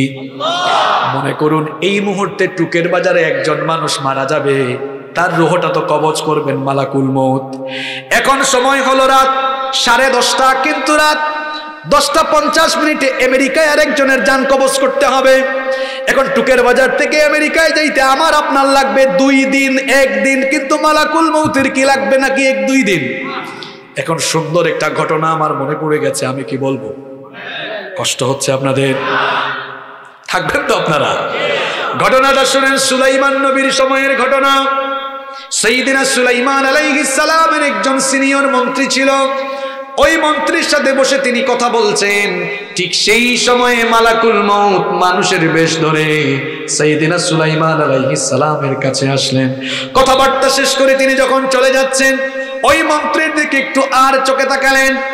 মন্ত্রী ভয় পেয়ে গেল, ভীত বিহব্বল হয়ে গেল, কলিজাটা কাঁপে উঠল। সে বলল, গো আল্লাহর নবী সুলাইমান, কিছুক্ষণ আগে আপনার কাছে যে লোকটা আসলেন, তাকে তো আমি চিনলাম না, কখনো আপনাকে দেখি নাই। সুলাইমান আলাইহিস সালাম তখন বললেন, ও আমার মন্ত্রী, শোনো, ইনি কোনো সাধারণ মানুষ নন, মানুষের বেশ ধরে মালাকুল মৌত আমার কাছে এসেছেন। এই কথা শোনার পরে তার মন্ত্রীর ভয় আরও ভাল্ল তিনি বললেন, এই জন্য তো লোকটা যাওয়ার সময় এত অবাক হয়ে তাকাইছে। লোকটার তাকানো দেখে আমার কলেজাটা কেঁপে উঠেছে। অগো আল্লাহর নবী সুলাইমান, আল্লাহ তো আপনাকে অনেকগুলো মর্যাদা দিয়েছেন। সুলাইমান নবীকে আল্লাহ অনেক মর্যাদা দিয়েছিলেন। তিনি পিপিলিকার ভাষা বুঝতেন, পাখির ভাষা বুঝতেন। তিনি জিনদেরকে শাসন করেছিলেন। বাতাসকে আল্লাহ তার আদেশের অনুগত করে দিয়েছেন। সুলাইমান নবী দোয়া করেছিলেন, ও আল্লাহ, আমাকে তুমি এমন ক্ষমতার মালিক বানাও, যেই রকম ক্ষমতা কেমত পর্যন্ত কোনো মানুষ আর পাবে না। সুলাইমান নবী যখন এই দোয়া করলেন, দোয়া কবুল করলেন কি? আল্লাহ বললেন, ও আমার সুলাইমান, শোনো, তোমার দোয়া কবুল করে আমি তোমাকে এমন ক্ষমতার মালিক বানালাম। আজ পর্যন্ত আমেরিকার প্রেসিডেন্ট, রাশিয়ার প্রেসিডেন্ট, তারাও এত ক্ষমতা পায় নাই। আমেরিকার প্রেসিডেন্ট জো বাইডেন বাংলাদেশে আসতে চাইলে বিমানে বা রকেটে চড়ে আসা লাগবে। রাশিয়ার প্রেসিডেন্ট ভ্লাদিমির পুতিন, সেও বাংলাদেশে আসলে হয় সে বিমানে কিংবা রকেটে চলে আসতে হবে। এর বাহিরে আর দ্রুত কোনো বাহন বিজ্ঞান এখনও আবিষ্কার করতে পারে নাই। কিন্তু সুলাইমান নবী পৃথিবীর ক্ষমতার তার হাতে ছিল, পৃথিবী শাসন করেছে। আল্লাহ এমন ক্ষমতা বা, এমন ক্ষমতার মালিক তাকে বানালেন। আল্লাহ তাকে এমন একটা সিংহাসন দিয়েছিলেন, যেই সিংহাসনের কোনো ইঞ্জিন ছিল না। বিনা ইঞ্জিনে বাতাসের মাধ্যমে ইঞ্জিন চলতো। সকালবেলা তিনি যখন তার সিংহাসনে উঠে বসতেন, বিনা ইঞ্জিনে বাতাসের মাধ্যমে এক মাসের পথ চলে যেতে আপনারা কি সুবহানাল্লাহ বাড়িতে গিয়ে বলবেন? আপনারা বুঝেন নাই কথা? তিনি উঠে বসেছেন সিংহাসনে। সিংহাসনকে বলছেন, এই, তুমি আমাকে এই মুহূর্তে নিয়ে ইরাকে যাও। সিংহাসন বলে নেমে যাও তিনি সিংহাসনে উঠে বলছেন, ইরাকে নিয়ে যাও। সিংহাসন বলে, নেমে যাও মানে বলার আগেই কাম শেষ। এই রকম ক্ষমতার মালিক তাকে যিনি বানালেন, তিনি কি? সেই সুলাইমান নবীকে আল্লাহ বাতাস বাতাস তারা দেশের অনুগত করে দিয়েছেন। ওই মন্ত্রী বলল, আল্লাহর নবী সুলাইমান আপনি একটু বাতাসকে হুকুম করেন, বাতাস যেন আমাকে নিয়ে হিন্দুস্তানের দূরবর্তী জায়গায় চলে যায়। কারণ ওই মালাকুল মৌত যদি আবার আপনার কাছে আসে আর আমার সাথে দেখা হয়, আমি ঠিক থাকতে পারব না। সুলাইমান নবী বাতাসকে হুকুম করলেন, বাতাস ওই মন্ত্রীকে নিয়ে হিন্দুস্তানের একটা দূরবর্তী জায়গায় চলে গেল। কিচ্ছাটা আপনারা শুনতেছেন তো পরের দিন মালাকুল মৌত সুলাইমান নবীর কাছে আসলেন। সুলাইমান নবী বললেন, ও মালাকুল মৌত গতকাল তুমি যখন আমার কাছে এসেছিলে, আমার মন্ত্রীর দিকে কীরকম করে তাকিয়েছিলে? বেচারা মন্ত্রী তো খুব ভীত বিহব্বল হয়ে গিয়েছিল। তখন মালাকুল মৌত বলল, ও আল্লাহর নবী সুলাইমান, গতকাল যখন আপনার কাছে আসলাম, তখন আমি লোকটাকে আপনার কাছে দেখে অবাক হলাম। আমি যাওয়ার সময় লোকটাকে দেখে অবাক হয়েছিলাম এই জন্য। কিছুক্ষণ পরে আপনার কাছ থেকে দেখা শেষ করে, সাক্ষাৎ শেষ করে আমি, আমার দায়িত্ব ছিল, আল্লাহর দেওয়া শিডিউল ছিল, এই লোকটার যান কবজ করব আমি হিন্দুস্তান থেকে। এখন আমার জন্য তো এক প্রান্ত থেকে অন্য প্রান্তে যাওয়া সেকেন্ডও লাগে না। চিন্তা করলাম, যেই লোকটার যান কবজ করব একটু পরে হিন্দুস্তান থেকে, এই লোকটা আপনার কাছে এখন করে কি? আমি এই জন্য একটু অবাক হয়ে তাকাইছিলাম। অবাক হওয়ারই তো কথা, মনে করেন দেখার কথা না, এমন একটা জিনিস দেখছেন, আপনারা অবাক হবেন কিনা? তো মালাকুল মৌত বললেন, এই লোকটার যান কবজ করার কথা কিছুক্ষণ পরে হিন্দুস্তান থেকে, এখন তাকে যখন আপনার কাছে দেখলাম, আমি নিজেই অবাক হলাম। আমি তো আল্লাহর আদেশের অনুগত, আল্লাহর আদেশ পালনের জন্য। আমি যখন কিছুক্ষণ পরে হিন্দুস্তানে গেলাম, গিয়ে আরও বেশি অবাক হলাম, গিয়ে দেখি যান কবজের জায়গায় সে হাজির। সুলাইমান নবী বললেন, আহারে বেচারা মন্ত্রী, মরা থেকে বাঁচার জন্য আমার সহযোগিতায় সে বাতাসের মাধ্যমে হিন্দুস্তানে গেল। কিন্তু হিন্দুস্তান পর্যন্ত গিয়েও তো লাভ হলো না, মরণের হাত থেকে রেহাই পাওয়া গেল না। No one can escape from that মৃত্যু থেকে পালিয়ে কেউ রেহাই পাবে? No one can leave from that for এই মৃত্যুর থাবা থেকে একটা মানুষের রেহাই পাবে? Everyone will take the taste of death প্রত্যেককে এই মরণের স্বাদ ভোগ করতে এই ঘটনাটা আপনাদেরকে শুনাইছি, মজা দেওয়ার জন্য না, বোঝাতে চেয়েছি। আল্লাহ যে বলেছেন কসম সেই ফেরেশতাদের যারা দ্রুততার সাথে সন্তরণ করে। সুবহানাল্লাহ পড়ে তাহলে ফেরেশতারা দ্রুত গতিতে চলতে পারে, এই ক্ষমতা দিয়েছেন কি? এরপরে আল্লাহ পরের আয়াতে বলেছেন, ফাসাবিকাতি সাবকা কসম, সেই সকল ফেরেস্তাদের যারা দ্রুততায় একজন আর একজনকে ছাড়িয়ে যায়। একটু আগে যে বুখারের লম্বা হাদিস পড়েছিলাম, সে হাদিসে আছে, মোমেনদের রোহ কবচ করার পরে জান্নাতি ফেরেস্তারা জান্নাতি কাফন নিয়ে আসে। তারা একজন আরেকজনকে ছাড়িয়ে যাওয়ার প্রতিযোগিতা করে। ওই ফেরেস্তাদের কসম, এই সুরাই যিনি করলেন তিনি কি? এরপরে আল্লাহ বললেন ফাল মুদাব্বিরাতি আমরা সেই সব ফেরেস্তারা যারা আল্লাহর আদেশ মেনে চলে, সকল ফেরেস্তারা যারা আদেশের অনুগত, তিনি কে? আপনারা মনে হয় ভাবতেছেন আজকের ওয়াজ যে কখন শেষ হবে। এই যে প্রথম পাঁচটা আয়াতি একটু বড়, বাকিগুলা ছোট। কষ্ট হবে না তো আপনাদের? আমি কোম্পানিগঞ্জে একটা মাহফিলে দিয়েছি, মোনাজাত করব আপনাদেরকে নিয়ে। আপনারা মোনাজাত পর্যন্ত থাকবেন তো? বেশি না, আর বিশ পঁচিশ মিনিট থাকবেন তো আপনারা? এখন মূল কথাগুলো শুরু হবে। প্রথম পাঁচ আয়াতে আল্লাহর কসম। কসমের পরে আসতেছে জবাবে কসম। যে জিনিসের জন্য আল্লাহ কসম করলেন। যে জিনিসের জন্য আল্লাহ এতক্ষণ কসম করলেন। আল্লাহ কসম করেছেন, পরকালের ঘটনা ঘটবে, কিয়ামতের ঘটনা ঘটবে, আর কিয়ামতের ঘটনা আল্লাহ ঘটাবেন ফেরেস্তাদেরকে দিয়া, কারণ ফেরেস্তারা কার হুকুম মানে? আল্লাহ তালা বললেন, যারা বলো, কেয়ামতের ঘটনা কীভাবে ঘটবে? শোনো, আমি আল্লাহ বলছি, কেয়ামতের ঘটনার উদ্বোধন কেমনে হবে? শোনেন এবার কেয়ামতের উদ্বোধন কীভাবে হবে? কেয়ামতের ঘটনা একদিন ঘটবে। এই ব্যাপারে কি আপনাদের মনের ভেতরে কোনো সন্দেহ আছে নাকি? আর কোনো গুরুত্বপূর্ণ কাজ হলে গাড়ির সব পার্টস একদম খুলে খুলে খুলে খুলে আলাদা করা হয়। মিস্ত্রি আবার দেখা যায় কাজ শেষ করে ওই গাড়িরে আবার আগের মতো ফিটফাট করে ফেলে। তো এই যে আমরা আমাদের ব্রেন দিয়া বিমান বানাইয়া বিমানের পার্টস পার্ট আপনারা শাহজালাল ইন্টারন্যাশনাল এয়ারপোর্টে গেলে দেখবেন পার্কিং এর ভেতরে বহু বিমানের কাজ চলতেছে। আমি দেখছি। তো সেখানে বিমান খুলতেছে, আবার আগের মতো লাগাইয়া দিতেছে। তো এই যে আমরা আমাদের মাথায় দেওয়া বিমান, রকেট, গাড়ি, মোবাইল, কম্পিউটার, কত কিছু আবিষ্কার করি না এগুলো আমরা আবার মিকারি করি, খুলে ফেলি, আবার আগের মতো লাগাই। এগুলা বানানোর জন্য, এগুলো মিকারি করার জন্য আমাদের মাথায় জ্ঞান দিছেন কে? আসতে বলবেন না জুড়ে বলেন কে? ওই জ্ঞানটা কি আপনারা বেশি পাইছেন? না আল্লাহ বলেছেন কি জ্ঞান দিয়েছি শোনো বাবা উতি মিনাল ইলমি ইল্লা কালিলা। অল্প সামান্য জ্ঞান দিয়েছি। এই সামান্য জ্ঞান মানুষ পাইয়া, সে যদি পার্টস পার্টস খুলে, আবার পার্টস গুলোকে লাগাইয়া, আবার এই জিনিসটারে পুনরায় রিফিট করতে পারে, তাহলে আমার আপনার শরীরের পার্টসগুলো পচে, গলে, হাড্ডি, গুড্ডি, মাংস সব যদি আলাদা আলাদা হয়ে যায়, ওই জ্ঞানদাতা আল্লাহ, গোটা পৃথিবীর মহাকারিগর আল্লাহ, তিনি বলি আমায়, আমি আপনি মরে গিয়ে পচে গেলে, গলে গেলে, শেষ হয়ে গেলে, আবার আমাদেরকে চিন্তা করতে পারবেন না? বিশ্বাস হয় আপনাদের? তো এই বিশ্বাস থাকলে তো আমরা নামাজ ছাড়তাম না। কারণ আল্লাহ তো মরার পরে জিতা কুই দেয়? কোন আমলের হিসাব নেবেন? কথা বলেন না কেন আপনারা? ইয়াউমাল মিন সালাতু। আপনাদের কষ্ট হচ্ছে? দশ মিনিট থাকা যাবে তো? এখন দশ মিনিট নিতাম না, শেষ করে দিতাম। ঘটনা আমার দুইটা মনে পড়ছে, দুইটা ঘটনা ছোট ছোট। আপনারা বললে বলব, নইলে মোনাজাতে যাব। বলব? ঘটনাগুলো বলব? হ্যাঁ ঘটনা একটা মনে পড়ছে, এটা ইব্রাহিম নবীর সময়ের ঘটনা। কোন নবীর সময়ের ঘটনা? ইব্রাহিম নবী একদিন আল্লাহকে বলেন, আল্লাহ, তুমি নাকি মোরাকে আবার জীবিত বানায় ফেলো?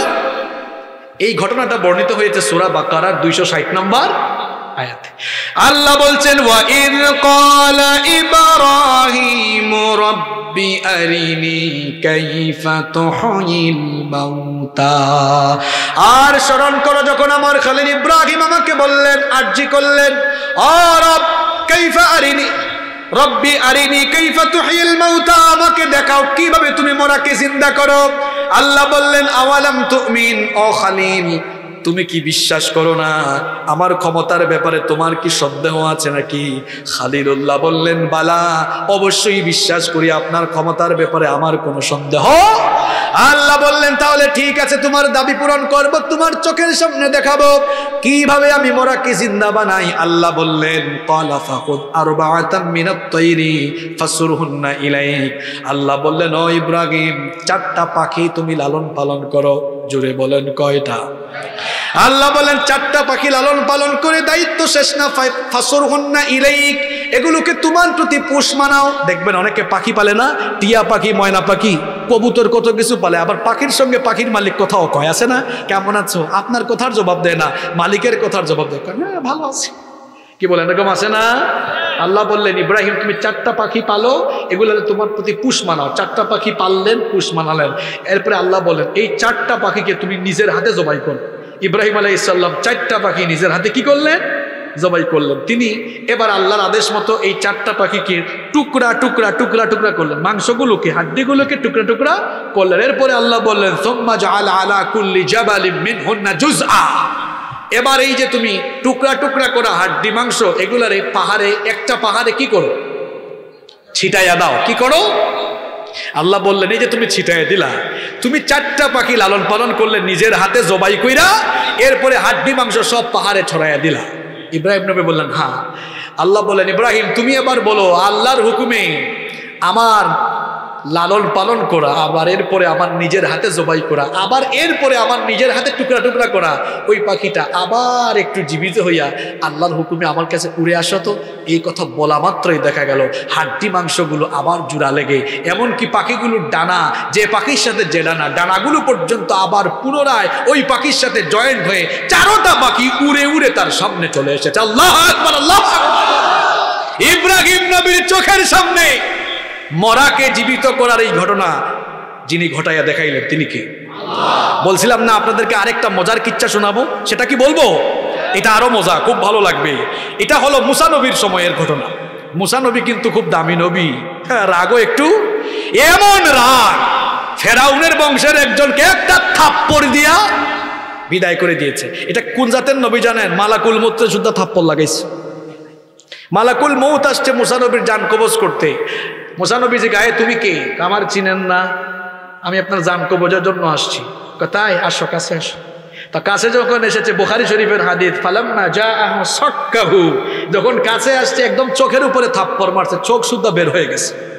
মালাকুল মুত থাপ্পড় খাইয়া গেছে কার কাছে?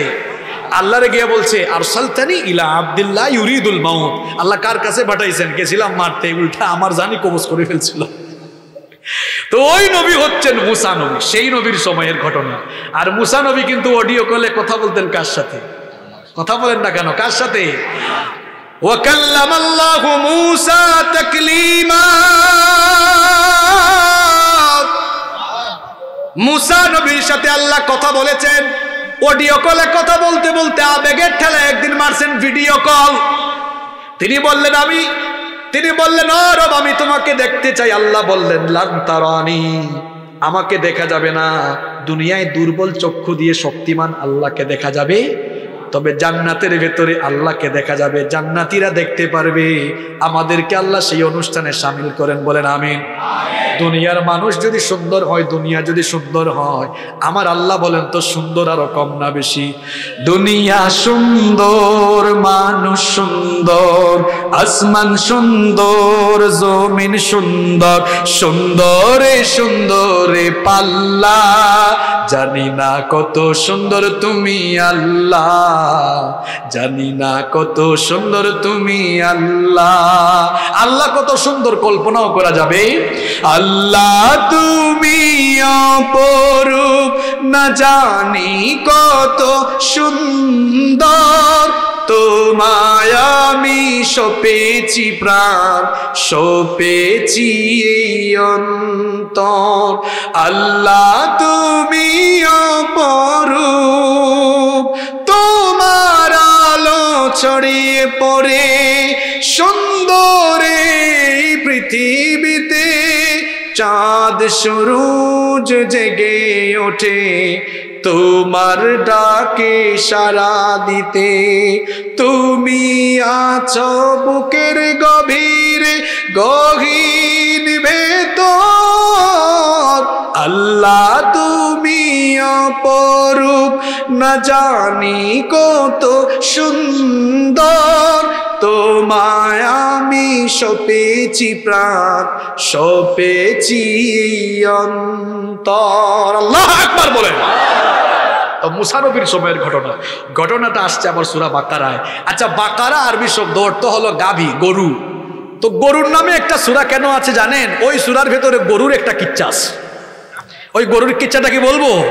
আপনাদেরকে কিচ্ছাটা বলব আনন্দ দেওয়ার জন্য না। এই কিচ্ছার ভেতরে আমাদের জন্য শিক্ষা খুব সংক্ষেপে আমি কিচ্ছাটা বলি। এই কিচ্ছাটা কোরআনে বর্ণিত হয়েছে সোরা বাকারার সাতষট্টি নম্বর আয়াত থেকে। ঘটনাটি হলো এই বনি ইসরায়েলের খুব ধর্ণাঢ্য একজন মানুষ ছিলেন। যিনি অডেল ধন সম্পদের মালিক ছিলেন, কিন্তু লোকটার কোনো ছেলে মেয়ে ছিল না, কোনো সন্তান ছিল না। ওই লোকটার ভাতিজা চিন্তা করল, আমি যদি আমার চাচাকে খুন করতে পারি, খুন করে ফেললে আমার চাচার সম্পদগুলোর মালিক আমি অটোমেটিক হয়ে যেতে মনোযোগ আছে আপনাদের? সে এবার এই চিন্তা বাস্তবায়নের লক্ষ্যে একদিন রাতের বেলা তার চাচার বাড়িতে ঢুকে গেল। চাচার ঘরে ঢুকে তার নিজের চাচাকে নিজের হাতে খুন করল। ভাতিজা বড় চালাক ছিল। সে চিন্তা করল, আমার চাচাকে খুন করে গলে ফেলে রাখলে এটার দায়ভার মানুষ আমার উপরে চাপায় দিতে পারে। এই জন্য বুদ্ধিমানের মতো কাজ করল। গভীর রাতে তার চাচার লাশকে সে বহন করে আরেকজনের বাড়ির দরজার সামনে ফেলে আসলো। যাতে করে সকালবেলা সবাই তার উপরে দুষ চাপায় দেয়। এই স্বভাবের মানুষ কিন্তু এখনও দুনিয়াতে আছে, যে কাদায় দুষ করে একজন আর মামলা খায় আর একজন। দেখা যায় গাড়ি পুরাইছে একজন, বাস পুরাইছে একজন আর মামলা খাইছে আর একজন। দেখা যায় এই রকম স্বভাবের মানুষ দুনিয়াতে আছে।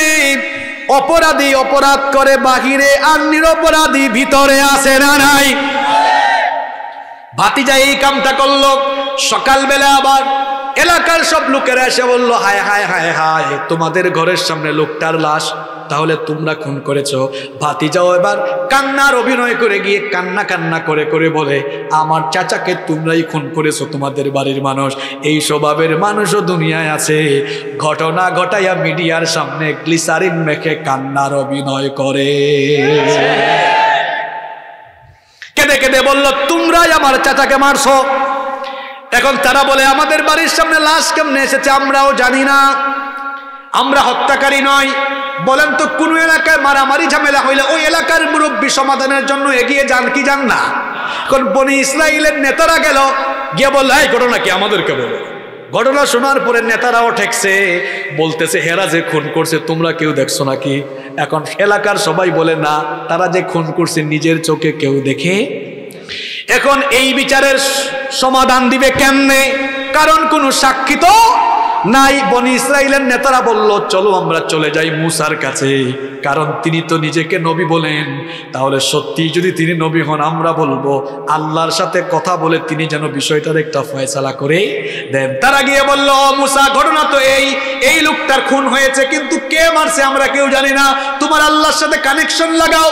কথা বলো, তিনি যেন জানায় দেন, এই ঘটনাটা ঘটাইছে কে? যদি আল্লাহ বলতে পারেন, তাহলে আমরা বুঝব তুমি সত্যিকারের নবী। তুমি আল্লাহকে জিজ্ঞেস করো। মুসানবী আল্লাহকে বললেন, আল্লাহ মুসানবীকে বললেন, ও মুসাইদেরকে বলো। আল্লাহ বললেন, এই ঘটনা আল্লাহ কোরআনে বর্ণনা করছেন, ওয়াইদ ক্বালা মূসা লিকওমিহি, ইন্নাল্লাহ ইয়ামুরুকুম বাকারা।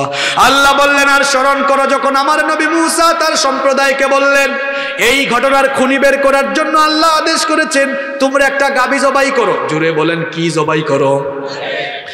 বনি ইসরায়েলের নেতারা তখন বলল, কলু আতাত্তাখিদুনা হুজুয়া তুমি কি আমাদের সাথে ঠাট্টা করো নাকি? বললাম ঘটনার খুনিকে আর তুমি বলতেছো গাবি জবাই করার কথা। গাবি জবাইয়ের সাথে তো খুনি খুঁজে বের করার সম্পর্ক থাকতে পারে না। মুসানবী বললেন, বেশি কথা বইল না। আল্লাহ যা বলছেন ওইটা করো। তাহলেই দেখবা খুনিকে খুঁজে বের করা যাবে। তারা এবার বলল, ঠিক আছে। আল্লাহ তো বলছেন গাবি জবাই করার কথা। মনে রাখবেন, বনি ইসরায়েল ঘাড় তেরা জাতি। এরা খুব ঘাট তেরা জাতি। আল্লাহ বলছিলেন একটা গাবি জবাইয়ের জন্য, যে কোনো গাবি জবাই করলে হয়ে যাইতো। কিন্তু প্রশ্ন কইরা কইরা তারা এই কামটা তাদের জন্য কঠিন বানাইলো। তারা বলল, ও মুসা, তুমি তোমার রবকে বলো, কালু জিজ্ঞেস করো, এটা কেমন হবে? গাবিটা কোন বয়সের? বেশি বয়সের, মাঝারি বয়সের না কম বয়সে? মুসা নবী বললেন, আল্লাহ বলেছেন, ইন্নাহা বাকরাতুল্লাহ ফালিদুন ওয়ালা বিকরুন আমানুম বাইনা যালিক নিশ্চয়ই আল্লাহ বলেছেন, এমন গাবি যেটার বয়স বেশি হবে না কম হবে না, মাঝামাঝি বয়সের হবে। তাদের প্রশ্ন শেষ হয় না। তারা বলে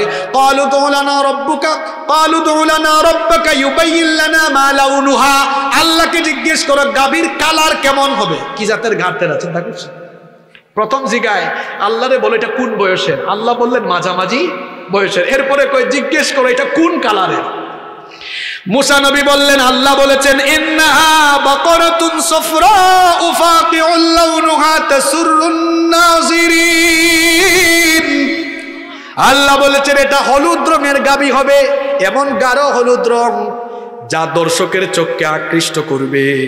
এই কথা বলার পরেও প্রশ্ন শেষ হয় না, কই ইন্নাল বাকরা তাসাবা হালাইনা একই জাতের গাবি? হলুদ রঙের গাবি তো বহুত এলাকায় থাকতে প্রথমে জিগায়, এটা কোন বয়সের আল্লাহ বললেন, মাঝামাঝি বয়সের এরপরে জিগায়, এটা কোন কালারের? আল্লাহ বললেন, হলুদ কালারের। এরপরে জিগায়, হলুদ কালার বুঝছি। হলুদ কালারের আরও গবি থাকতে এখন কামটা হয়েছে কি জানেন? এখন এটা বলার পরে আল্লাহ বললেন, তাদেরকে বলো, এটা এমন গাবি হওয়া লাগবে যে গাবি দিয়ে কোনোদিন হাল চাষ করা কথা বুঝতেছেন আমার? এরকম গাবি পাওয়া কি এত সোজা? এরকম গাবি হওয়া লাগবে, যেটা দিয়ে হাল চাষ কখনো হয় নাই, যেটা দিয়ে কায়িক শ্রম বা পানি তোলার কাজও করা হয় না আবার এমন গাবি, আল্লাহ আরেকটা শর্ত দিলেন মুসাল্লামাতুল্লাহ শিয়াতা ফিহা সুস্থ হতে হবে। অসুস্থ হলে চলবে। এবার হেরা শুরু করছে গাজী, গাবি খুঁজা। খুঁজতে খুঁজতে খুঁজতে খুঁজতে খুঁজতে খুঁজতে কোথাও তারা এই রকমের গাবি পায়? এত সোজা হ্যাঁ? মাঝামাঝি বয়সের হলুদ রঙের গাবি যেটা দিয়ে হাল চাষ করা হয় না। এখন হাল চাষ করা হয় না, পাইছে কালো রঙের, এরকমও হবে। খুঁজতে খুঁজতে পায় না। অবশেষে বহু খুঁজতে খুঁজতে গিয়ে পাইছে মাত্র একজনের কাছে। কয়জনের কাছে? দুর্ভাগ্যক্রমে ওই লোকটাও শুনে গেছে, এদের এইরকমই একটা গাভী লাগবে। চিন্তা করল, ব্যবসা এবার ব্যবসার মতোই করব। ব্যবসা এবার ব্যবসার মতোই করব। হেরাক বলল ভাই রে বহুত কষ্টে পাইছি গাভীটা কত টাকা বলো? কয়, মিয়া, টাকা দিয়ে হবে না। কত কি? টাকা দিয়ে হবে? ভাবছ?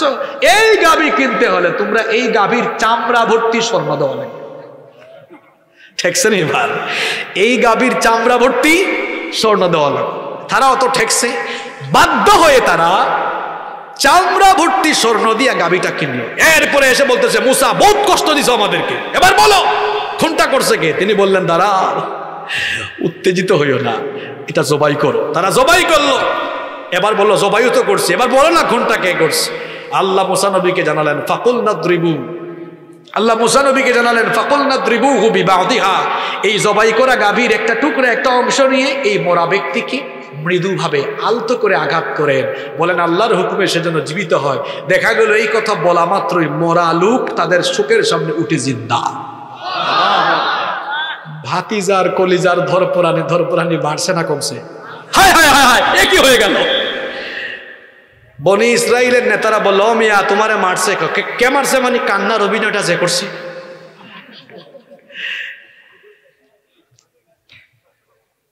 মরা লোকটাকে বনি ইসরায়েলদের চোখের সামনে জিন্দা বানাইলেন কে? সেই আল্লাহ আমরাও মরার পরে জিন্দা বানাবেন। কেন, কেমনে বানাবেন? আল্লাহ বলছেন, কেন অবিশ্বাস করো? তুমি মরার পরে তোমাকে চিন্তা করতে পারব না, কারণ একটা সময় তো তোমার নাম ছিল না, ঠিকানা ছিল না ঘর বাড়ি কিচ্ছু ছিল না। আপনারা বলেন তো, আমাদের নাম রাখা হয়েছে জন্মের আগে না জন্মের পরে? আল্লাহ বলছেন, বান্দা, আল আতাল ইনসানি হিনুম মিনাদ দাহরি লাম ইয়াকুন শাইআম মাযকুরা তোমাদের জীবনে কেমন একটা সময় ছিল না, যখন তোমরা উল্লেখযোগ্য বিষয় বা বস্তু হিসেবে পরিগণিত ছিলে না। নাম ঠিকানা কিছুই ছিলে না।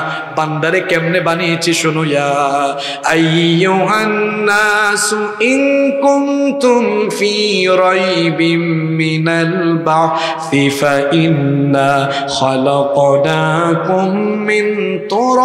মিন মিন ثم من علقة ثم من مضغة مخلقة وغير مخلقة لنبين لكم ونقر في الأرحام ما نشاء إلى أجل مسمى.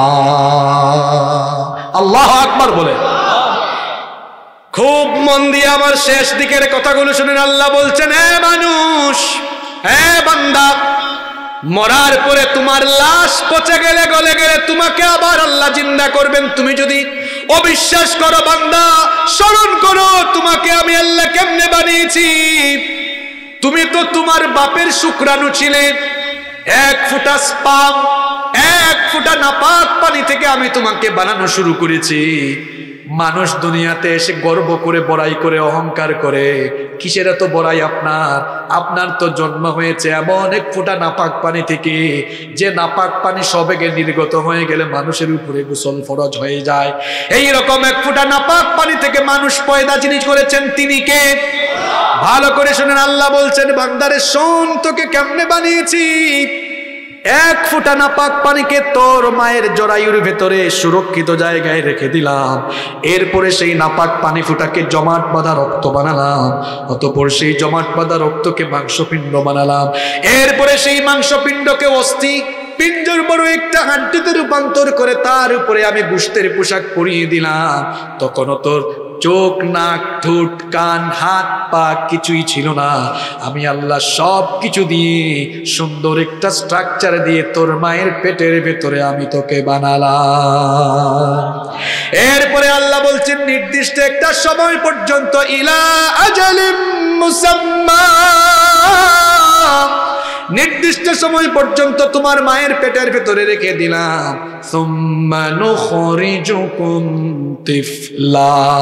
এরপরে বাচ্চারা আকারে মার পেট থেকে বের করে দুনিয়াতে আনলেন, যিনি তিনি কে?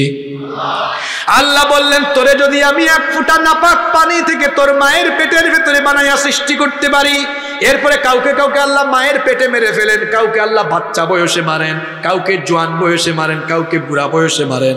আল্লাহ বলছেন, বান্দারে, নাপাক পানি থেকে যদি বানায়া তোরে বাচ্চা থেকে কিশোর কিশোর থেকে যুবক যুবক থেকে বুড়া বানাতে পারি আলাই সাদালিকা বিকাদিরিন আলা আইয়ুহাইয়াল মাউতা সে আল্লাহ কি তোর মতো গোলাম মরে গেলে আবার জিন্দা করতে পারবেন না?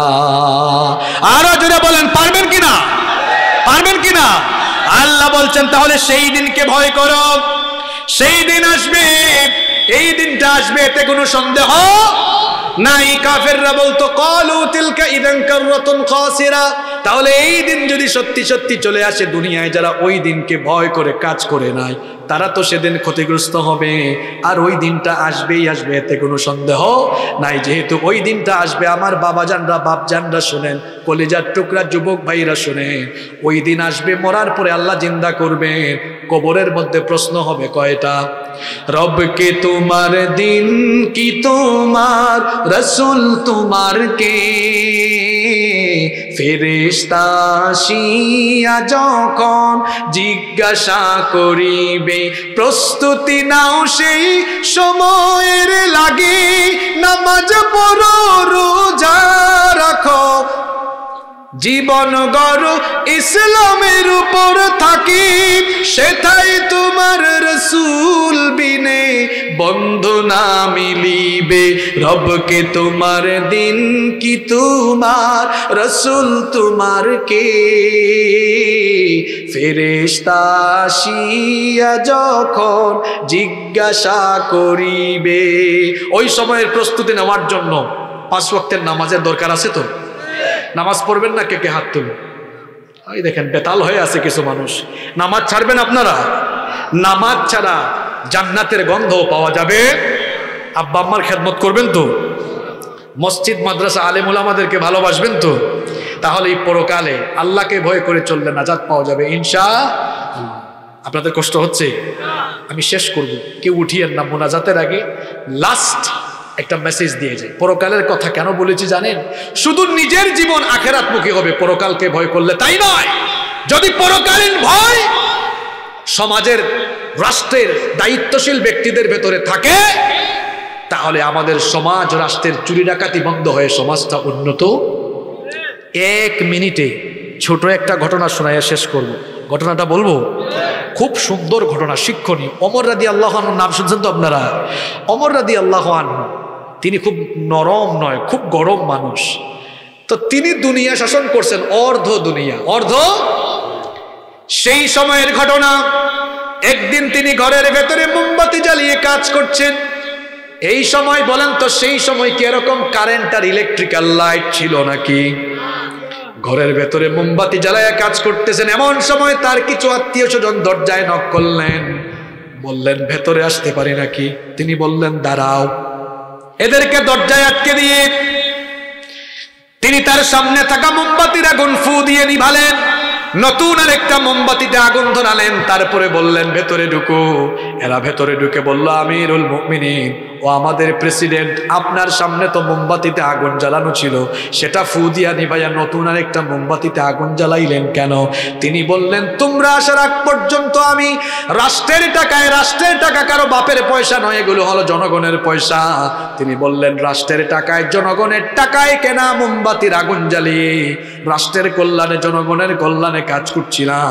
তোমরা যখন ভেতরে ঢোকার জন্য অনুমতি চাইলে, চিন্তা করলাম, তোমরা ভেতরে ঢুকে আমার সাথে ব্যক্তিগত কথা বলবে, এজন্য আমার মনে চিন্তা আসলো, রাষ্ট্রের টাকায়, জনগণের টাকায় কেনা মোমবাতিতে আগুন জ্বালায়া তোমাদের সাথে যদি ব্যক্তিগত কথা বলি, রাষ্ট্রের সম্পদ নষ্ট হবে, জনগণের সম্পদ নষ্ট হবে, আখেরাতে আল্লাহর সামনে আসামি হওয়া লাগবে। এই ভয়টা যখন কলিজায় আসলো, সাথে সাথে রাষ্ট্রের টাকায় কেনা মোমবাতির আগুন নিভাইয়া দিয়া নিজের টাকায় কেনা মোমবাতির আগুন জ্বালিয়েছি। কি বুঝছে? কিচ্ছাটা শুনে কি বুঝছেন? আল্লাহর ভয় কোনো নেতাদের ভেতরে থাকলে সেই সমাজ রাষ্ট্রের নেতারা কখনো জনগণের সম্পদ চুরি, ডাকাতি, লুটপাট করে তারা বিদেশে বেগম পাড়া বানাবে না। নিজের সম্পদ বাড়াবে না। ভালো করে শুনে যান শেষ কথা আমার। এই যে কিছুদিন আগে কাতারে বিশ্বকাপ হয়েছে, মিডল ইস্টের ছোট ছোট এই দেশগুলো, কাতার, দুবাই, আমিরাত সৌদি আরব সহ আরবের এই ছোট ছোট দেশগুলো আজ থেকে এক শতাব্দী আগে এরা যাযাবর ছিল, বেদুইন ছিল, গরিব ছিল এরা। মরুভূমিতে উঠ চালায় চালায় খাইতো এরা। এত গরিব ছিল। ধারণা করা হচ্ছে আগামীর পৃথিবীকে তারাই নেতৃত্ব দিবে, এত ধনী তারা। আপনারা বলবেন কি জানেন, আপনারা তো চালাক বেশি। আপনারা বলবেন, হুজুর, তারা তো ধনী হইতেই পারে। তাদের দেশে তেল আছে, গ্যাস আছে। এই জন্য তারা ধনী হয়ে গেছে। আরে, আমার দেশে তেল, গ্যাস থাকলে আমার দেশের চোর ডাকাইতদের চুরি ডাকাইতে আরও বাড়তো। আমার দেশে কি সম্পদ নাই হ্যাঁ? এই দেখেন টাকায়া পাথরের খনি। আমার দেশে আছে কয়লার খনি, গ্যাসের খনি, এদেশের মাটি তো সোনার মাটি, যা ফেলবেন তা হয়ে যাচ্ছে। আমি উত্তরবঙ্গে কুড়িগ্রাম লালমনির হাটে গিয়ে দেখি, তিস্তা বেড়েছে, তিস্তা নদীর তিস্তা বেড়েছে, সেখানে বালুর মধ্যে ভুট্টা চাষ হয়ে গিয়েছে। সুমান আল্লাহ বলবেন না আপনারা? এদেশে সম্পদের কমতি নেই।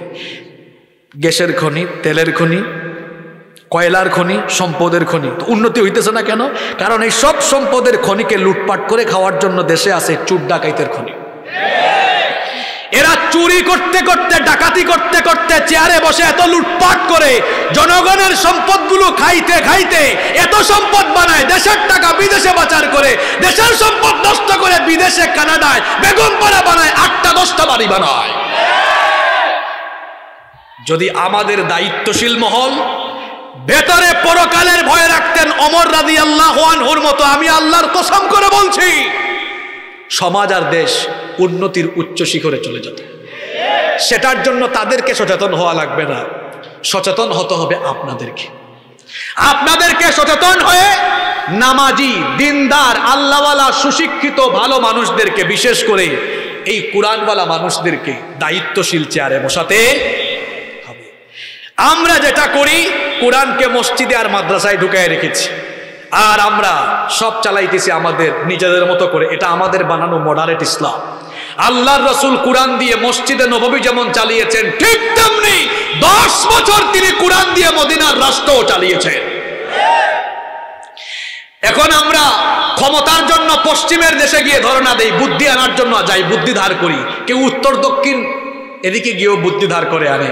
আর আমাদের পূর্বপুরুষরা যখন কোরআন দিয়ে বিশ্ব শাসন করেছেন, তখন পশ্চিমের দেশের আর উত্তর দক্ষিণের এরা গিয়ে হাঁটু গেড়ে আমাদের পূর্বপুরুষদের সামনে মাথা নত করে বসে থাকতো। আমি একটু আকার ইঙ্গিতে কথা বলছি এই জন্য পরিবেশ তো ভালো না। পশ্চিমে অনেকে যায় না, পশ্চিম মানে বুঝেন না, ওই আমেরিকা পশ্চিমে অবস্থিত। উত্তর দক্ষিণে আরও বহু দেশ আছে, যারা বুদ্ধি ধার করে আনতে যায়। যে দেশ থেকে বুদ্ধি ধার করে আনতে এরা যায়, এরা! আমাদের পূর্বপুরুষদের সামনে হাঁটু গেড়ে এমনি বসতো। কেন? আমাদের পূর্বপুরুষরা কোরআন দিয়ে বিশ্ব শাসন করেছে। ঠিক কিনা বলেন? এই কোরআন ছাড়া, কোরআনের আইন ছাড়া, ওই দিন কুমিল্লার এক মাহফিল, এক লোক এত সুন্দর স্লোগান দিয়েছে, ভালো লেগেছে আমার। কোম্পানিগঞ্জ এটা শুরু করবেন। নারায় তাকবির, আল্লাহ আকবার। দিন ইসলাম জিন্দাবাদ, এটা বলার পরে এত সুন্দর স্লোগান দিছে, আমার কলিজাটা ভরে দিছে ভাইরা, বলতেছে সব কিছু দেখা শেষ। এখন বাকি আছে কোরআনের বাংলাদেশ। আপনারা চান কি চান না? কোরআন দিয়ে যদি সমাজ চলে, দেশ চলে, চুরি থাকবে না, ডাকাতি থাকবে না, অন্যায় থাকবে না, রাহাজানি থাকবে না, আপনারা সবাই কোরআনকে যেমন ভালোবাসেন, দেখেন, এখানে এতগুলো, এত হাজার হাজার মানুষ আপনারা, ঠেলাঠেলি আছে? কিন্তু এটা যদি রাজনৈতিক সমাবেশ হইতো, যে দলেরই হোক, কোনো দলের নাম বলব না। দেখা যায় তো নীরব থাকতো না। এ কথা বলে, হে কথা বলে, এ কথা বলে, এ কথা বলে, মাঝে মাঝে রাগারাগি কইরা চেয়ার দিয়ে একজন একজনের মাথাও ফটাই দিবে। শৃঙ্খলা মাঝে মাঝে স্টেজও ভাঙে যাইতে পারে। শৃঙ্খলা, এখানে দেখছেন এতগুলা মানুষ, কেউ স্টেজে উঠে লাফালাফি করে। তাহলে আস্তাগফিরুল্লাহ আস্তাগফিরুল্লাহ। إن الله غفور رحيم أستغفر الله الذي لا إله إلا هو الحي القيوم وأتوب إليه لا حول ولا قوة إلا بالله العلي العظيم মাশাল্লাহ আমাদের শ্রদ্ধা ভাজন বড় ভাই মাওলানা ফৈজুর রহমান সাহেব তিনি এক হাজার টাকা দিয়েছেন আল্লাহ সরি একশো টাকা দিয়েছেন আল্লাহ কবুল করেন। সবাই দিচ্ছেন, আমি সবার জন্য আমভাবে একসাথে দোয়া করবেন ইনশাল্লাহ পড়েন, আশহাদু আল্লা ইলাহা লা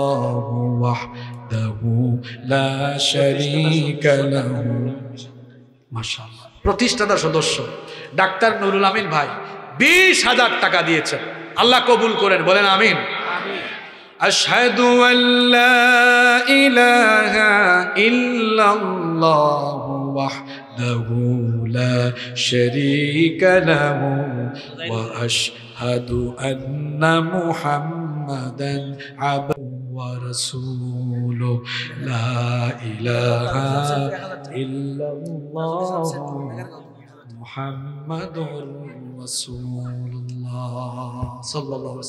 মেগারগাঁও থেকে তাজুল ভাই এক- হাজার টাকা, মাশাআল্লাহ। আমার অনেক আজকের মাহফিলে আমার খুব ভালো লাগতেছে। আমার ডানে বামে আমার উস্তাদরা বসে আছে।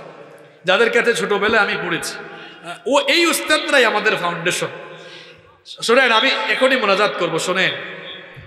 বিশ্ববিদ্যালয় দৌড়ায় হাদিস কামিল, ফাজিল, আলিম, দাখিল এই সকল টিচারদের সাথে মক্তবের হুজুরের দাম আমার কাছে বেশি। কারণ জানেন, এই মক্তবের হুজুর কিন্তু প্রথমে তৈরি করে দিয়েছেন। এখানে আমার অনেক হুজুর আছেন, এখানে মুজাহিদ হুজুর আছেন, আমার সহ সুপার হুজুর আছেন, আমার সিদ্দিক হুজুরও আজকে এখানে ছিলেন। সবাই আমার অত্যন্ত প্রিয়। সভাপতি সাহেব চেয়ারম্যান সাহেব নাকি? ধর্মিয়া সাহেব। ধর্মিয়া শেষে পাঁচ হাজার টাকা আল্লাহ কবুল করেন, বলেন আপনি এই তো শেষ। দাঁড়িয়ে থাকা ভাইরা, বসার জায়গা থাকলে বসে যান। হুজুর, আপনি কিছু বলবেন সবার উদ্দেশ্যে মোনাজাত দিয়ে দিব হুজুর তাহলে আমরা এখন মোনাজাত করে ফেলবো ইনশাল্লাহ আল্লাহ আমিন ربنا ظلمنا أنفسنا وإن لم تغفر لنا وترحمنا لنكونن من الخاسرين ربنا لا تزغ قلوبنا بعد إذ هديتنا وهب لنا من لدنك رحمة إنك أنت الوهاب. ربنا إنك جامع الناس ليوم لا ريب فيه.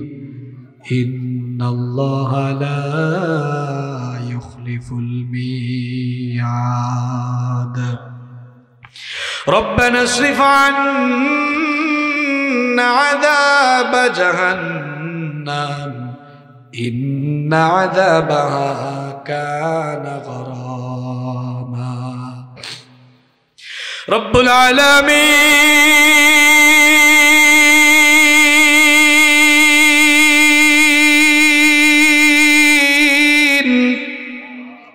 গভীর রাত পর্যন্ত আমরা তোমার কোরআন পাগল বান্দারা। নীরবে বসে বসে তোমার কালাম থেকে আলোচনা শুনেছি। ও মালি আমরা এই গভীর রাতে যারা হাত তুলেছি, প্রত্যেকেই আমরা কম বেশি গুণা করেছি। আমরা গুণা করতে করতে আমাদের নফসটাকে কলুষিত বানিয়ে ফেলেছি। পাপ করতে করতে পাপের দরিয়ার অতল তলে দেশে নিমজ্জিত হয়েছি। আমরা যতই গুণা করি না কেন মালিক, তুমি তো বলে চলা তখন তুমি রহমাতিল্লাহ। তুমি তো বলেছ, বান্দারে, আমার রহমত থেকে তোরা নিরাশ হয়ে যাইস না। ওগো আল্লাহ, সেজন্য তোমার রহমতের আশা করে জীবনের সমস্ত গুণাগুলোর জন্য লজ্জিত হয়ে, অনুতপ্ত হয়ে ভিখারির মতো হাত তুলেছি। মাবুদ গো, খালি হাতে আমাদেরকে ফিরাইয়া দিও না। তুমি যদি আমাদেরকে বিদায় করে দাও, আর কোথাও যাওয়ার জায়গা নাই। কারণ আমরা ছাড়াও তোমার অসংখ্য গুলাম আছে, কিন্তু তুমি ছাড়া তো আমাদের আর কোনো মাবুদ নাই। ও মালি যে গুণা আমরা করেছি গুনার বোঝা নিয়ে কবরে যেতে চাই না। জানি না কখন জানি আমরা সেই কবরে চলে যাই, এমনও তো হতে পারে আজকের এই মোনাজাত আমাদের কারও কারও জন্য জীবনের শেষ মোনাজাত হয়ে যেতে পারে। আর কোনোদিন তোমার কাছে হাত তোলার সুযোগ নাও পেতে পারি গো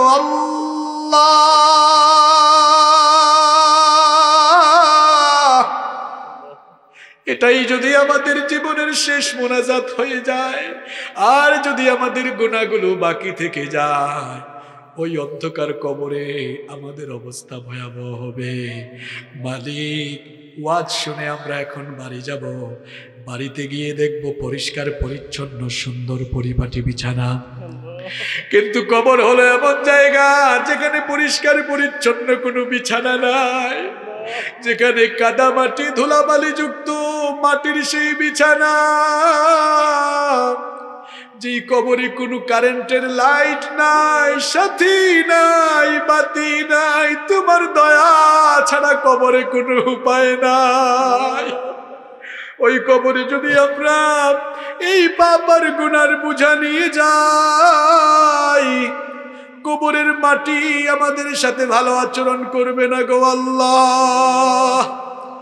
ও মালিক!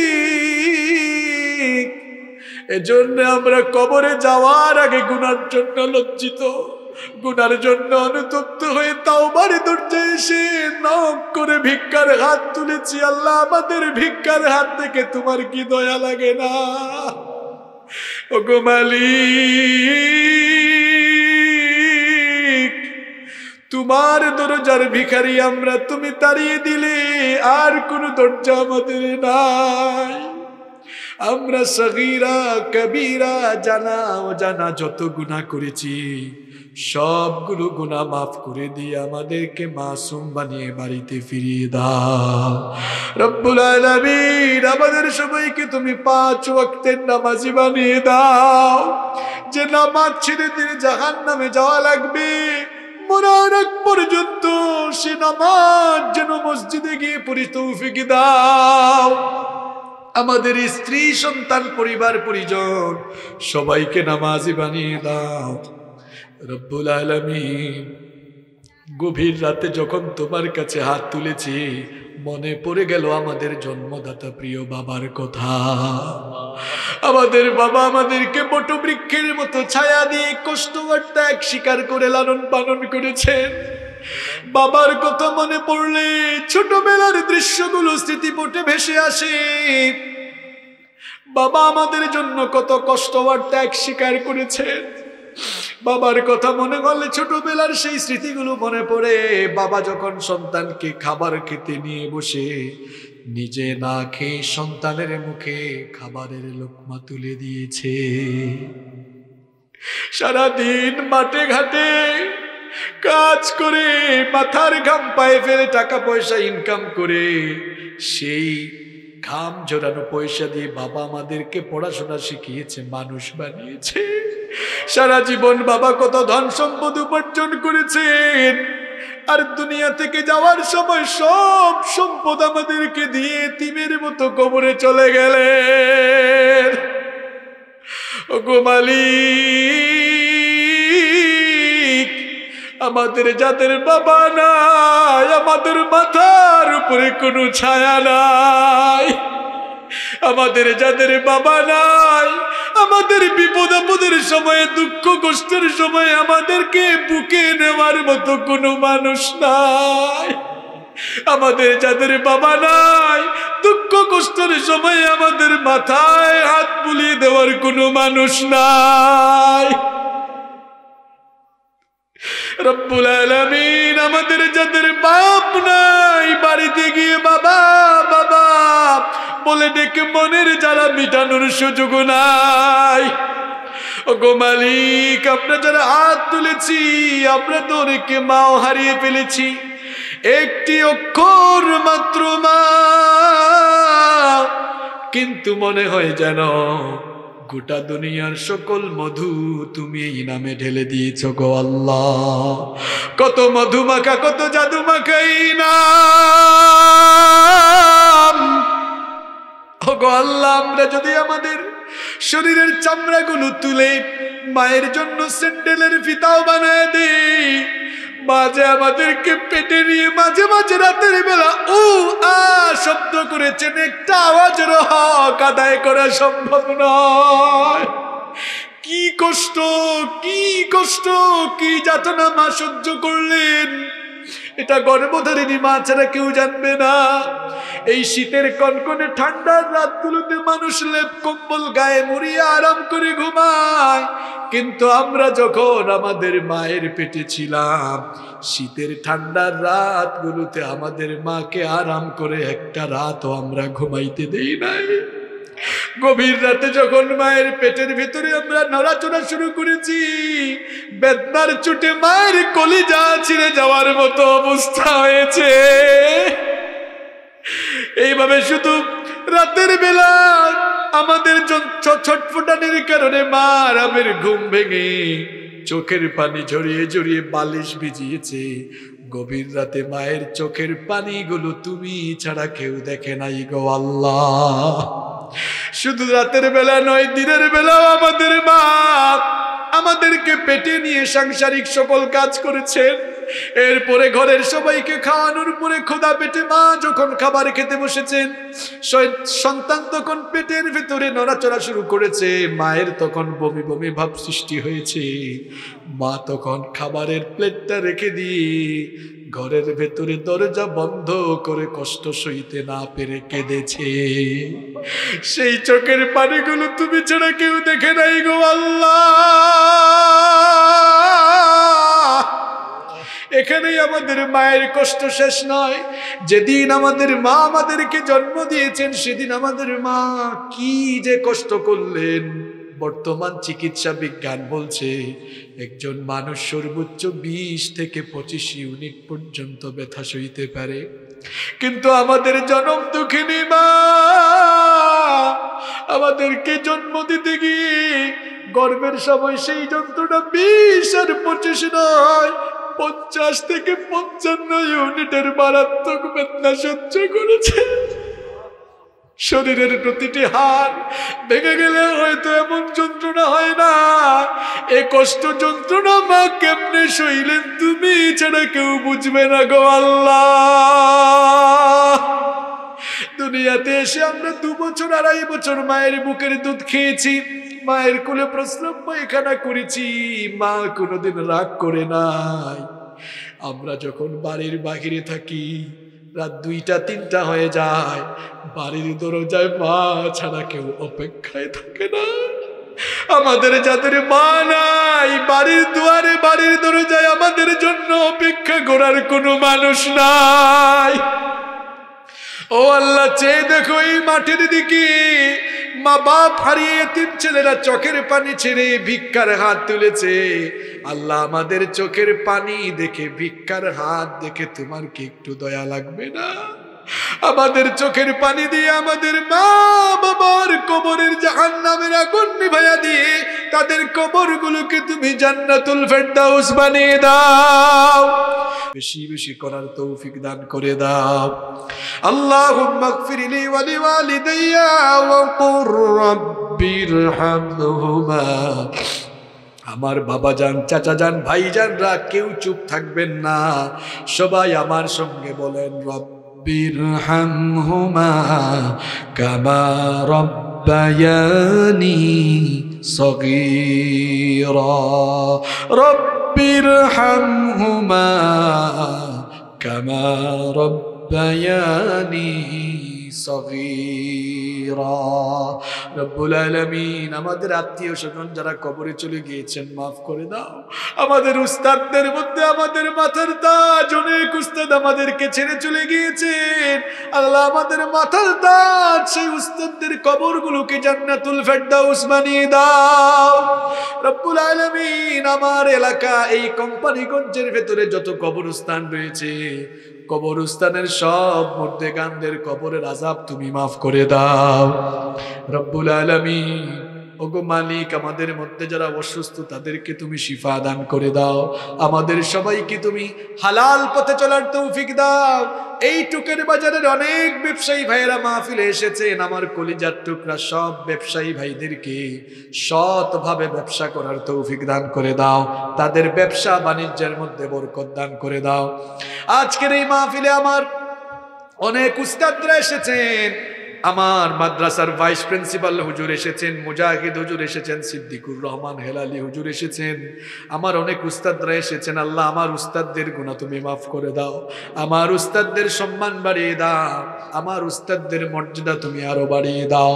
রব্বুল আলামিন, ওগো মালিক, এই এলাকার সকলকে আমাদের মিলে মিশে চলাফেরা করার তৌফিক দান করে দাও। হিংসা নিন্দা দূর করে ভাই ভাই হয়ে আমাদেরকে তুমি এই এলাকায় একসাথে মিলেমিশে থাকার তৌফিক দান করে দাও। রব্বুল আলামিন, আজকের এই মাদ্রাসার মাহফিলকে তুমি কবুল করে নাও। আমার অসংখ্য ভাই বোনেরা দান করেছেন, আমার সব ভাইজানদের, বাবাজানদের দান সৎকা কবুল করে নাও। এই মাদ্রাসার প্রিন্সিপাল, সুপার সহ, সুপার সাহেব সহ সকল শিক্ষকদেরকে মাফ করে দাও, তাদের মর্যাদা বাড়িয়ে দাও, ছাত্রদেরকে মাফ করে দাও। মাদ্রা, আজকের এই মাদ্রাসায় মাহফিলে সভাপতিত্ব করেছেন জনাব ধর্মিয়া সাহেব। জনাব Yakub Ali vice chairman chairman সাহেব, আল্লাহ তাদেরও মর্যাদা বাড়িয়ে দাও, সম্মান বাড়িয়ে দাও, তাদেরকে দিনের জন্য কবুল করে নাও। আলে বলে আমাদেরকে আজকে মেহমানদারি করেছেন আমাদের সকলের প্রিয় লিয়াকত স্যার। আল্লাহ উনারও ইজ্জত, সম্মান বাড়িয়ে দাও। রব্বুল আলামিন উনার স্ত্রী আমাদের বোন, আল্লাহ তাকেও তুমি মাফ করে দাও। উনাদের তিনটা সন্তান রয়েছে আল্লাহ উনাদের সন্তানদেরকে তুমি মাফ করে দাও। তিনটা মেয়ে রয়েছে, একটা ছেলে রয়েছে। সবাইকে তুমি দিনের জন্য কবুল করে নাও। আমার কলেজার টুকরা যুবক, তরুণ ভাইয়েরা, যারা এসেছেন, আল্লাহ সবার গুণাখাতা মাফ করে দাও। বিশেষ করে আমার কলেজের টুকরা যুবক ভাইদেরকে দিনের জন্য কবুল করে নাও। এই কোম্পানিগঞ্জের দূর দূরান্ত থেকে আমার বাবার বয়সী আমার চাচাদানরা এই ঠান্ডা উপেক্ষা করে আজকের মাহফিলে এসেছেন। আবার অনেক যুবক ভাইরা অনেক দূর থেকে এসেছেন। আল্লাহ, তুমি তাদের সবাইকে মাফ করে দাও। সবাইকে নিরাপদে বাড়ি যাওয়ার তৌফিক দান করে দাও। আমার সাথে যারা বারবার বারবার আমিন বলছেন, আল্লাহ সবার দিলের সকল নেক বাসনা তুমি পূরণ করে দাও। আজকের মাহফিলে কথা বলেছেন আমাদের বড় ভাই মাওলানা মুফতি ইয়াহিয়া বিন উসমান। আল্লাহ তার ইজ্জত সম্মান বাড়িয়ে দাও। মাহফিলে বক্তব্য রেখেছে আমার অত্যন্ত প্রিয় ভাই। আমার স্নেহের ছোট ভাই মাওলানা শামীম সিদ্দিকী, আল্লাহ তার আইলমে যোগ্যতা আরও বাড়িয়ে দাও। তার কণ্ঠকে দারাজ করে দাও বা একজন গবেষক, আলেম হওয়ার তৌফিক দান করে দাও। কথা বলেছেন মাওলানা নাসির উদ্দিন সুনামগঞ্জি মাওলানা মুফতি আব্দুল কুদ্দুস। কথা বলেছে আমার আরেক ছোট ভাই মাওলানা আব্দুল কাদির, মাওলানা আব্দুল খালিক সাহেব সহ। যারা কথা বলেছেন আল্লাহ সবার তুমি আইন এবং আমলগত যোগ্যতা বাড়িয়ে দাও। রব্বুল আলামিন। শেষ আবেদন তোমার কাছে গো আল্লাহ। আল্লাহ, এই তফসিরের মাহফিলগুলোতে ওয়াজ মাহফিলে রাতের বেলা আসলে আমরা আমাদের হৃদয়ের প্রিয় কিছু মানুষদের কণ্ঠ খুব বেশি মিস করি। তারা মজদুম অবস্থায় এই শীতের রাতগুলোতে অন্ধকারে পড়ে আছে। আল্লাহ আমার আমাদের সেই হৃদয়ের প্রিয় মানুষগুলোকে তুমি আবারও কোরআনের মাঠে আমাদের মাঝে ফিরাইয়া দাও। আল্লাহ আমাদের মজদুম ভাইগুলোর জন্য তুমি সাহায্যকারী হয়ে যাও।